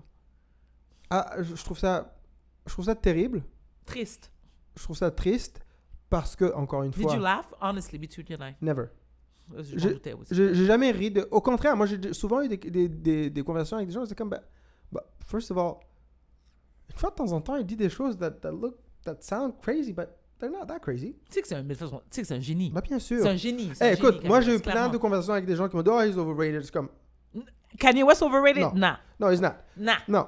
Combien Nah. de gens, tu sais, ont Nah. fait college dropout, graduation, bla bla bla, bla, tout, tout- like, tout le génie musical, t'as fait un Yeezy, classic shoe, the only other classic shoe other than Michael Jordan. I, I mean, comme, if- si ça témo- ça témoigne pas d'un- d'un d'un- d'un certain génie, je- Mais, il a besoin d'être, mais là, il a besoin d'être freiné. Oui, Someone has to take charge. Ça va mal finir. ouais, Moi, alors voilà ce qui m'inquiète. Ça va mal finir. Soit il va se faire du mal, Ouais. ou il va faire du mal à quelqu'un d'autre. Alors il est là le danger de la maladie mentale. Ouais, Il est là le danger. Mais, mais ce que je trouve déplorable, je trouve Ouais. triste et, je trouve, et ça en dit long sur notre société, Oui. malheureusement, c'est euh, c'est le traitement. Je trouve que c'est un cas d'étude. Le, le traitement dont il est victime, où on a. C'est une maître de cirque. ça m'est difficile. C'est-à-dire qu'on a, on a. On parlait de compa- compassion tout à l'heure. Oui. Oui. On, le, le, le- la- le plaisir, Ah oui. le plaisir, Oui. le divertissement qu'on tire du Oui, fait de rire de lui dépasse la compassion qu'on devrait avoir pour une personne Complètement. qui a une maladie. Complètement. Et je trouve ça effrayant. Mais tu sais pourquoi? Parce que lorsque quelqu'un souffre d'une autre maladie qui n'est pas une maladie mentale, on a, la personne ne tient pas des propos anormaux. Donc ça ne Hmm. dérange pas, ça ne fait pas peur. Mais lorsque tu dis I should have never aborted my child or I think I'm going to be murdered, les gens sont comme mais il est complètement barjot. Non, il n'est pas barjot, il est en crise. C'est ça. Et moi, c'est ça en tant que personne qui souffre du trouble bipolaire, pardon. Tout de suite, je le vois. Moi, je vois pas. saying- Je sais, bien sûr, ses propos sont incohérents, mais c'est à cause d'une crise. Il est en phase maniaque de la maladie. Il y a deux phases l'exaltation ou la déprime. Là, il est en phase manie de la maladie. C'est pour ça qu'on appelait avant le terme utilisé, c'était maniaco-dépression. Dépression, pardon. Là, il est en phase maniaque. Someone has to stop him. Mais le problème qui arrive au Kanye West, c'est qu'il y a so much money and he has a lot of power, et c'est de Mm. l'arrêter maintenant. Parce que justement, s'il est en crise, lui il peut faire comme, oh really, catch me if you can. Ouais, ouais. Let me take a plane, hop and go to freaking Ouais, Bali, and then hop to Jamaica. Tu peux pas l'arrêter. Son high depuis son complexe, de son God complexe. Ah oui, puis lui, il a vraiment le. God complexe. C'est ça le problème. Ouais, c'est ça le problème. C'est. euh, Tout à l'heure, tu as dit quelque chose, ça m'a beaucoup touché. Quand tu as dit. euh, C'est mon seul problème, c'est après mon deuxième divorce. Euh, Tout le monde sait que je, je- je souffre du trouble de, de- de bipolarité. Puis. euh, euh, it's public, it's out there. Mhm. Puis. Comment est-ce que, comment, comment est-ce que je rencontre l'amour avec, sachant que tout ça est, est là, Oui. accessible à tout le monde. euh, Et je me console en me disant, si je peux me permettre, je me suis quand même mariée deux fois. Donc il y a quand même deux hommes qui ont fait abstract. tu sais, Ouais, c'est pas C'est- des cons quand même. Oui. Oui. Tu sais, puis, puis Ouais. aussi, je veux dire, euh, euh, euh, c'est drôle parce que j'en ai parlé, euh, j'en ai parlé avec euh, avec Preach de Abba, et- Abba and Oui, Preach. Ah oui, Eric. Eric, ouais. Eric me parlait de, de justement du fait qu'il était TDAH puis qu'il était diagnostiqué. Puis Oui. on a eu le même type de, de, de conversation sur la normalité, qu'est-ce Oui. que ça veut vraiment dire. Puis Un autre mec brillant, oui. ouais, un autre mec brillant, Brillant. charismatique, Oui, euh, drôle. comme- drôle, drôle, super drôle. Oui. Euh, J'ai passé un super moment euh, avec lui. Puis, euh, et ça revient à ce qu'on disait justement. ce- ce- ce- Parce que oui, je comprends que ça doit être très douloureux. Mhm. C'est clair que c'est Mhm. douloureux. Mais si on doit parler de, de cette notion de normalité, justement, à un moment Mhm. donné, il faut mettre un, un point d'arrêt et puis dire, OK, faisons le bilan. De la vie de cette personne. Mhm. OK? On arrête la vie de Varda Etienne aujourd'hui. Accomplissement, euh, les bons coups, les ratés, euh, son état, son, son- son- son état de, de, de, de bien-être général, nonobstant euh, les crises, de, Mhm. de- des crises de, maladie et tout ça. Mhm. Et comparons- comparons-les à une personne lambda qui n'a pas accompli le dixième de ce que Mhm. tu as accompli. Mhm. Pas de trois bons enfants, pas, trois, pas de mariage, un troisième, je te souhaite. Oui, je dis jamais 203. Moi, c'est sûr que je ça. me remarier. C'est ça. I believe in that. Yeah. Comment je veux dire? Pas la carrière que tu as eue, pas euh, les, les deux livres que tu as, les deux succès euh, que tu as écrits. Cinq livres, Attends. 1, 2, 3, 4. que- pas les quatre livres que tu as écrits. Écrire un bouquin, c'est un, c'est un accomplissement. C'est vrai? Euh, pas ta marque de cosmétiques. 47 ans, euh, presque 48, Oui. et qui regarde sa vie, une personne tout à fait normale, Oui. qui regarde sa vie et qui se dit Je n'ai rien accompli. En faisant le bilan, et après. No, I never looked at it that way. Non, mais je dire- right. You're right. That's how I look at it. C'est- c'est- Thank you. C'est Yeah. vraiment comme ça que je, que, que, que, que je, que je vois la vie de manière générale. Oui. Parce qu'on est trop. On- je sais pas si c'est une disposition mentale commune à l'être humain. Je, On je se donne pas que assez oui. de crédit. On se donne pas assez, de crédit, puis on est trop dans le court, ter- dans le court terme. Oui. On est beaucoup trop dans le court terme. Comme Oui. si là, ce qui se passe là maintenant, Oui, this defines our entire existence. exactly. Mais non, You're right. Demain, vrai. là, c'est un autre jour. Exact. Après-demain, puis à 60 ans, à 70 ans, moi je parle à des gens qui ont 60, 70 ans, 80 ans, et ils racontent pas du tout les mêmes, ils se racontent pas les mêmes récits sur eux-mêmes qu'ils se racontaient quand ils avaient 20, 30 ans. Mais si je peux me permettre, that's the sad part of it. Moi, je peux pas me permettre de penser jusque-là. Parce que moi, Ok? and, and, I'll, and- and I'll tell you why, et n'importe qui, la majorité des gens qui ont des problèmes de santé mentale vont dire la même chose. Moi, every day, I say, oh, I made it. Oh, I'm alive. Moi, je suis pas capable de dire, non, parce que je suis constamment hantée par l'idée du suicide. Moi, je peux pas dire. Moi, je, moi, je peux. je- I hope, I want to be alive in 10, 15, Mhm. 20 years, Mhm. but I don't know. Je sais jamais when my mind's gonna flip. Moi, je suis, je, je, suis, je suis en danger constamment. I never know. That's the sad part. Moi, je peux pas te dire. Et ça, ça, ça m'attriste énormément. Et quand j'en parle avec d'autres Je personnes, comprends. you know what I mean? Je comprends, mais j'ai envie de dire que ton seul désavantage par rapport à moi qui ne souffre pas de cette maladie, c'est que les normes de la société ne vont pas dans ton sens. Voilà. Mais, c'est- mon seul Exact. avantage. Parce que euh, c'est le grand, le grand Carl Jung, il, euh, il parlait de, de, de la notion du euh, the shadow, Oui. la part d'ombre. Oui. Oui. Je suis dans une, dans, une, dans une vraie réflexion de euh, qu'est-ce qui se passe en moi à chaque fois que je mets en position de supériorité morale, mentale, intellectuelle par rapport à un autre? Mhm. Sociale, tu sais? Je regarde, je suis comme... Financière, peu importe. Financière, peu importe. Je regarde, je suis comme... oh. Parce que cette comparaison, on, on a tendance à la faire Mhm. Systématiquement, automatiquement, sans s'en rendre compte, juste pour, pour se calibrer, pour se dire Oui. où en suis-je dans ma vie? Oui, exact. exact. Est-ce que je suis une réussite Oui, ou un échec, un échec, dire? C'est un truc très, euh, très, Oui. très, très, très, con, mais... Et, et à chaque fois, je me dis, attends, mais c'est quoi mes critères? Sur quoi je me base pour Ah. penser que je suis au-dessus ou en dessous? Et quand je, tu fais le bilan. je fais le bilan, je fais le bilan, Voilà. mais quand je fais le bilan, je me rends compte à quel point je suis pas si responsable des bons coups. En tout cas, si je suis responsable des bons coups, je suis responsable des mauvais aussi. Exact. Et j'arrive à un équilibre. Et très, Exact. souvent, et très souvent, je me dis, qu'est-ce que j'aurais été capable de faire si ma vie avait été une autre? Qu'est-ce que je serais capable de faire demain si ma vie change? Ah. Qu'est-ce que je serais capable de faire? Tu sais, tu me parles de tes symptômes, de, de ce que tu fais, les rages, les coups de Mhm. colère, puis de, Mhm. de colère et tout ça. Qu'est-ce que je fais, moi, si demain, euh, pour, une, pour une deuxième fois, je perds toute ma famille? Il arrive un truc. Ah ouais. Je perds ma femme, je perds mes deux enfants. Oui. Tu y penses à ça? Oui, je- tout le temps. Ça, c'est ma, ça, c'est ma hantise. Ah, ouais. Ça, Bon, oui, mais Moi, moi Sophia, elle part oui. avec les enfants. Elle part avec les enfants. Je, Oui. je- je- moi, je travaille, puis je rentre à la maison, puis ils sont pas encore rentrés. 10-15 premières minutes avant que j'ai un appel, You think the worst. je suis en train de me projeter dans la situation de prise 2. La Oui, même chose arrive encore. Oui. Qu'est-ce que je fais? Oui. Dans quel genre de folie est-ce que je tombe cette fois-ci? Parce que first time around, je m'en suis sorti parce que la famille que j'ai perdue, euh, premièrement, les circonstances étaient tellement étranges. Oui. Je n'étais Ouais. pas le seul. Oui, c'est vrai.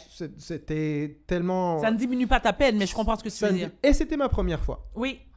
Et je me suis dit, euh, toute ma vie après ça, je me suis dit, tu sais quoi, je pense que, ce, je sais pas ce qui est là-haut, ce qui est là-haut, là, qui, euh, qui dirige tout ça, là, mais euh, si, si le bon Dieu existe, il m'en doit une.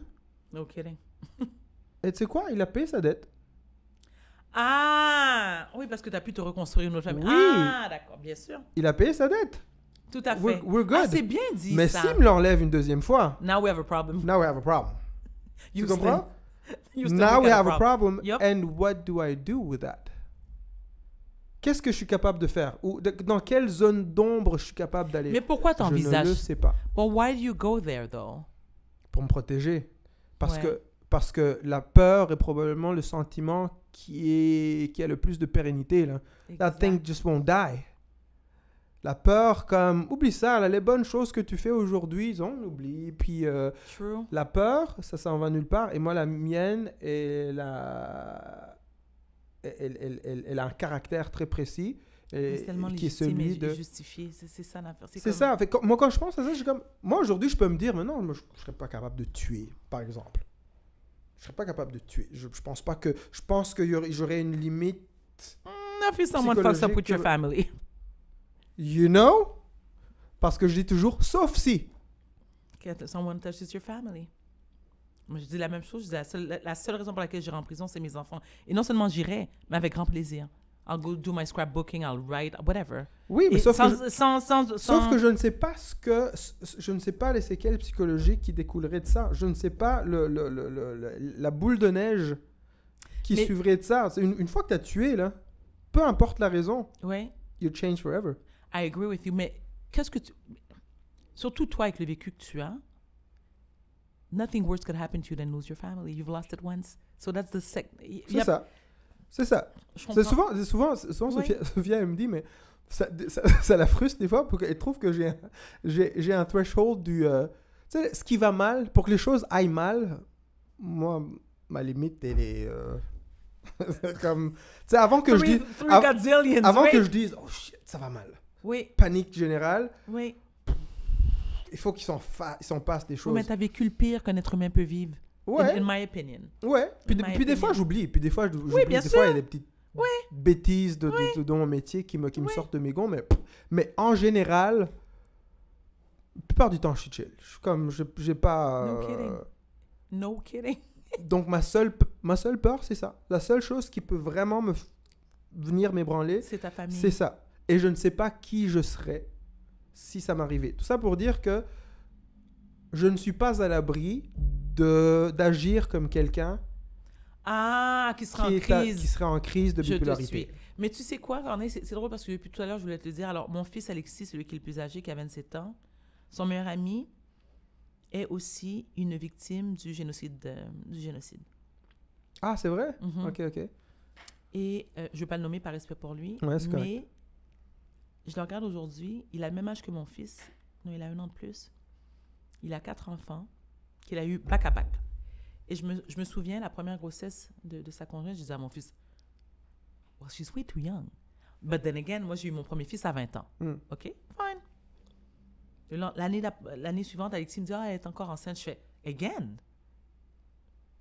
But they're way too young. Ce mec-là, ben, pour moi, c'est c'est quand je le vois encore comme mon enfant parce que il a mis l'Alexis depuis qu'ils ont, euh, je sais pas, 6-7 ans. Le parcours qu'il a fait, mais c'est admirable. Il est un père. Écoute, ils sont quatre en bas âge, là. C'est back to back to back, là. Il n'y a, pas- il y a même pas deux ans d'écart entre le, entre le premier et le deuxième. Il est encore avec elle, avec sa conjointe. Et Alexis me dit souvent, il dit, maman, il y a des moments où je vais là, et mon fils adore les enfants. Il dit, I don't know how he does it. Et il dit à Alexis tout le temps, I would do it again tomorrow morning. Why? Ben parce qu'il a perdu toute sa famille au Mm. Rwanda. Mm. Donc, il ne vit, respire que pour que sa pour famille. ça, exactement. Et, et moi, je le vois avec ses enfants. Le sentiment de fierté qu'il a. Ouais. Et, et, et tu sais, son oasis de paix, Mm. c'est dans le bordel avec ses quatre enfants qui gueulent toute la journée. Lui, he's like, you know what? Yup. Alexis Ouais. dit, maman, he never complains about the kids. Never. Il a jamais dit Alexis, they've known each other all their lives. Il dit, maman, s'il en avait marre, trust me, I would know. Il ne s'est jamais plaint. Mais je dis, Alexis, it makes sense. That's his- voilà son port d'attache. C'est ça. So, il a une peur morbide de perdre Mm. sa conjointe Mm. et ses enfants. Et puis, je dis, Alexis, bon, attends, mais il a terminé. Il dit, terminé. Il dit, non, maman, il veut une équipe de football. et lui, dans sa tête, je comprends, since he could provide for them, let's have them kids. Nobody- he'll ha- Et il travaille fort. Quand je te dis fort, Corneille, fort. Ce, ce mec-là, il fait de la toiture à 50 degrés l'été. Ce gars-là, il a 28 ans aujourd'hui. Il owns his home. Euh, comme je dis, je, je nomme pas son nom, donc people Mm, don't know what I'm talking about, mais cet enfant-là, il a été en prison très jeune parce que il est arrivé ici seul. Il didn't have food. Donc, il a fait un hold-up. Ridicule, là. Ouais, ouais, ouais. Mais ridicule. dire, moi, moi, parce que je connais les circonstances, je Oui, les oui, oui, comprends, oui, oui. pour bouffer. Mais il est sorti. Il est à l'école. Il était chercher ses cartes en construction. Comme je dis, il owns his own home. Il s'occupe de ses quatre enfants. Il est encore avec sa femme. Lui, 50 degrés, he doesn't care because he has to provide. Il le fait avec fierté. Donc, quelqu'un comme ça, Ça, ce, ça, ce genre d'histoire qui, euh, qu'est-ce à part, qui- de- qui à part du respect, de l'admiration, ben oui, ben oui, ben oui. Ouais, écoute, c'est comme... Lui, s'il nous regarde, il sait qu'on parle de lui, shout out à toi. Shout out. And he knows I love him. He's like my second child. Vraiment. Ah, mon Dieu. Tu vois, on, on a tous, on a tous nos histoires, on a tous nos notre vécu. Et je me dis, moi, je me complais en me disant, mon taux de résilience is up the roof. Donc, il n'y a pas grand. Sais, je me dis, j'ai vécu avec une maladie mentale. J'ai été agressée sexuellement plus qu'une fois. Ça Ah, tombe- c'est ah, c'est plus qu'une fois? Oui, moi j'ai eu un, un- un viol complet, ouais, ouais. mais j'ai eu des attouchements sexuels par des amis de mes parents. So, am I une battante? You fucking believe I am. Donc, lorsque je déprime, puis je me dis, oh, I might never have a man in my life. Oh, I'm, gonna- and you know what? I probably won't get the career that I want. And I'm like, Varda, are you kidding me? I've been through worse. Donc maintenant, je suis dans une, une, phase d'apaisement. I'm good. I'm happy. Puis tu sais, une autre chose que je dis tout le temps, c'est qu'il y a des... Moi, je marche. J'ai trouvé beaucoup de, de paix De paix, ouais. en, en devenant une adepte de la marche, ce que je ne faisais pas. Un, J'ai perdu Ah, du poids, puis deux, Marcher, c'est c'est génial. c'est génial. Et, et- et en plus, moi, je suis une mélomane, donc j'écoute, j'emmène, tu sais, Mm. j'écoute mes playlists. Et il y a des moments pendant que je marche, I start dancing. But I'm like, people who know me, they think, oh no, she's bipolar. You know what I mean? no, but you actually just like, you feeling... But I know people, tu sais, donc, non, mais une personne qui n'a pas de problème de santé mentale, qui marche d'un coup, qui se met à danser, tu dis, se passe là? Mais moi, c'est comme, ah, ok, she's bipolar, she's dancing. Ou je ris toute seule parce que je pense à une blague. je Tu sais, j'ai passé le stade où j'ai, où j'ai, non seulement j'ai envie, j'ai plus besoin de me justifier.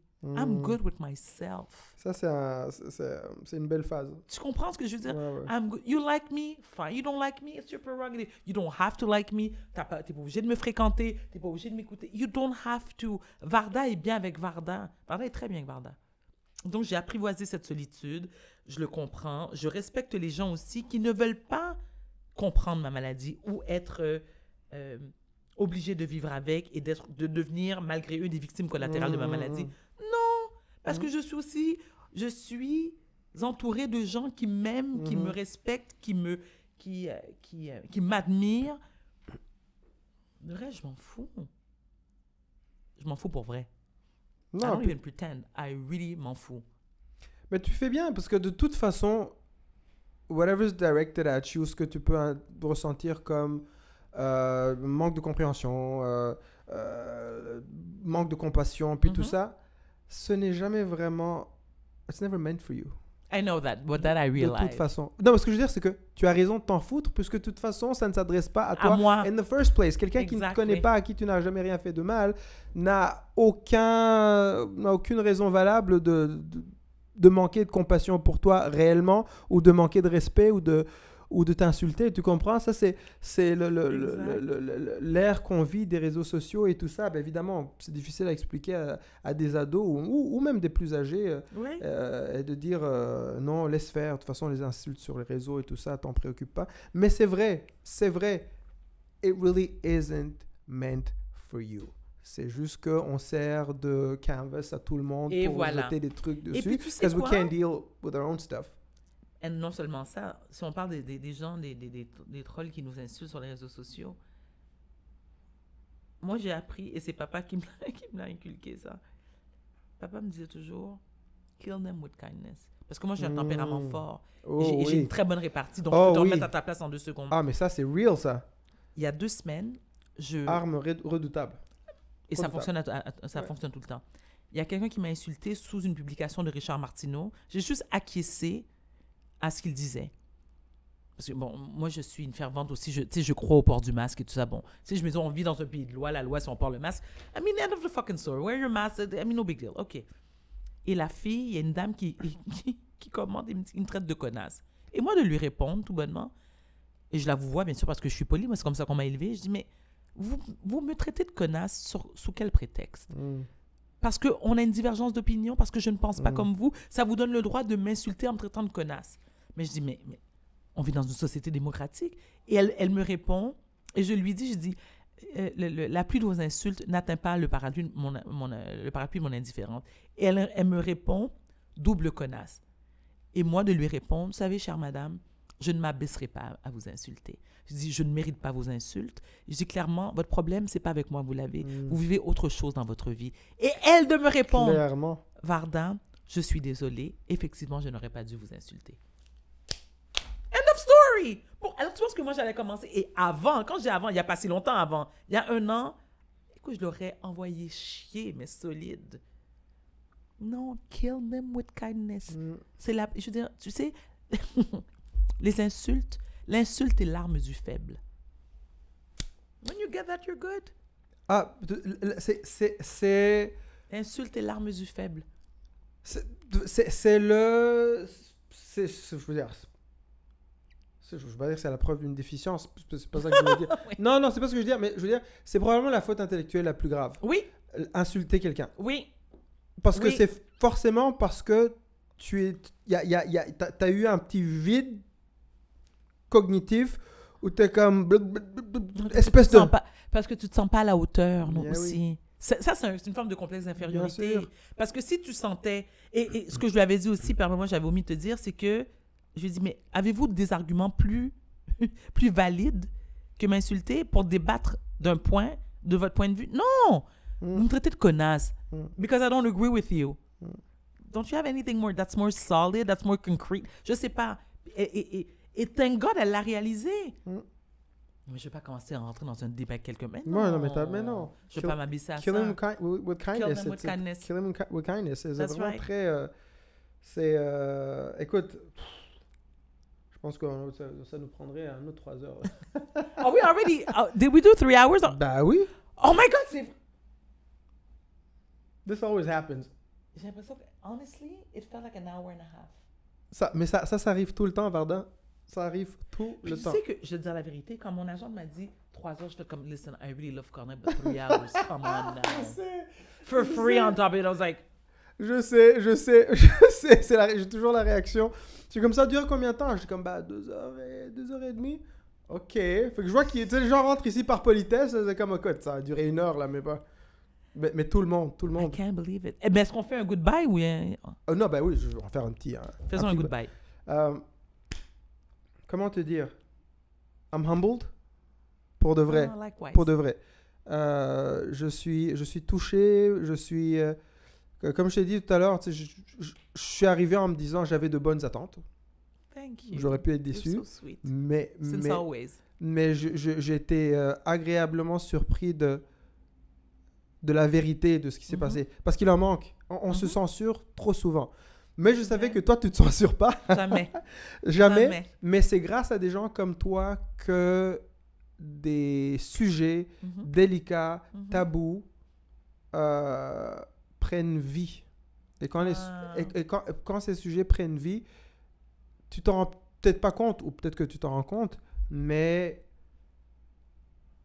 après chacune de tes apparitions, que ce soit à la télé, à la radio, à chacune de tes interventions, même quand c'est controversé, Parce que ça arrive, oui. par ta vérité, par ton, ton authenticité, tu élèves les choses. C'est vrai. Que you, 'cause you real. Thank There- you so much. There's no, there's no, there's no being wrong I see what you're saying. quand t'es vrai. Ça n'existe pas. C'est vrai. Ah, that's so well said. I Ce love qui est- this. c'est le- I'm gonna write this when I get home. c'est- non mais c'est vrai, c'est vrai. La There's nothing faute, wrong elle est du quand t'es côté de vrai. l'interprétation. C'est Si vrai. toi tu, tu, m- tu me donnes ta vérité et qu'elle me dérange, Oui, ça- là, c'est- oui, là c'est à moi de régler mes problèmes. it's not my problem. Si, si, si, t'as- si, si ton, ton- ce que tu, m- tu m'envoies est clairement Mhm. c'est bullshit, Well, là, là t'as un problème. Là, t'élèves pas là, les choses sur la baisse. Mais I couldn't agree more. donc, je te remercie pour ça. C'est moi qui. Puis, you're gonna have to come back. I'm sorry. With great pleasure. Merci, my Varda. love. Merci.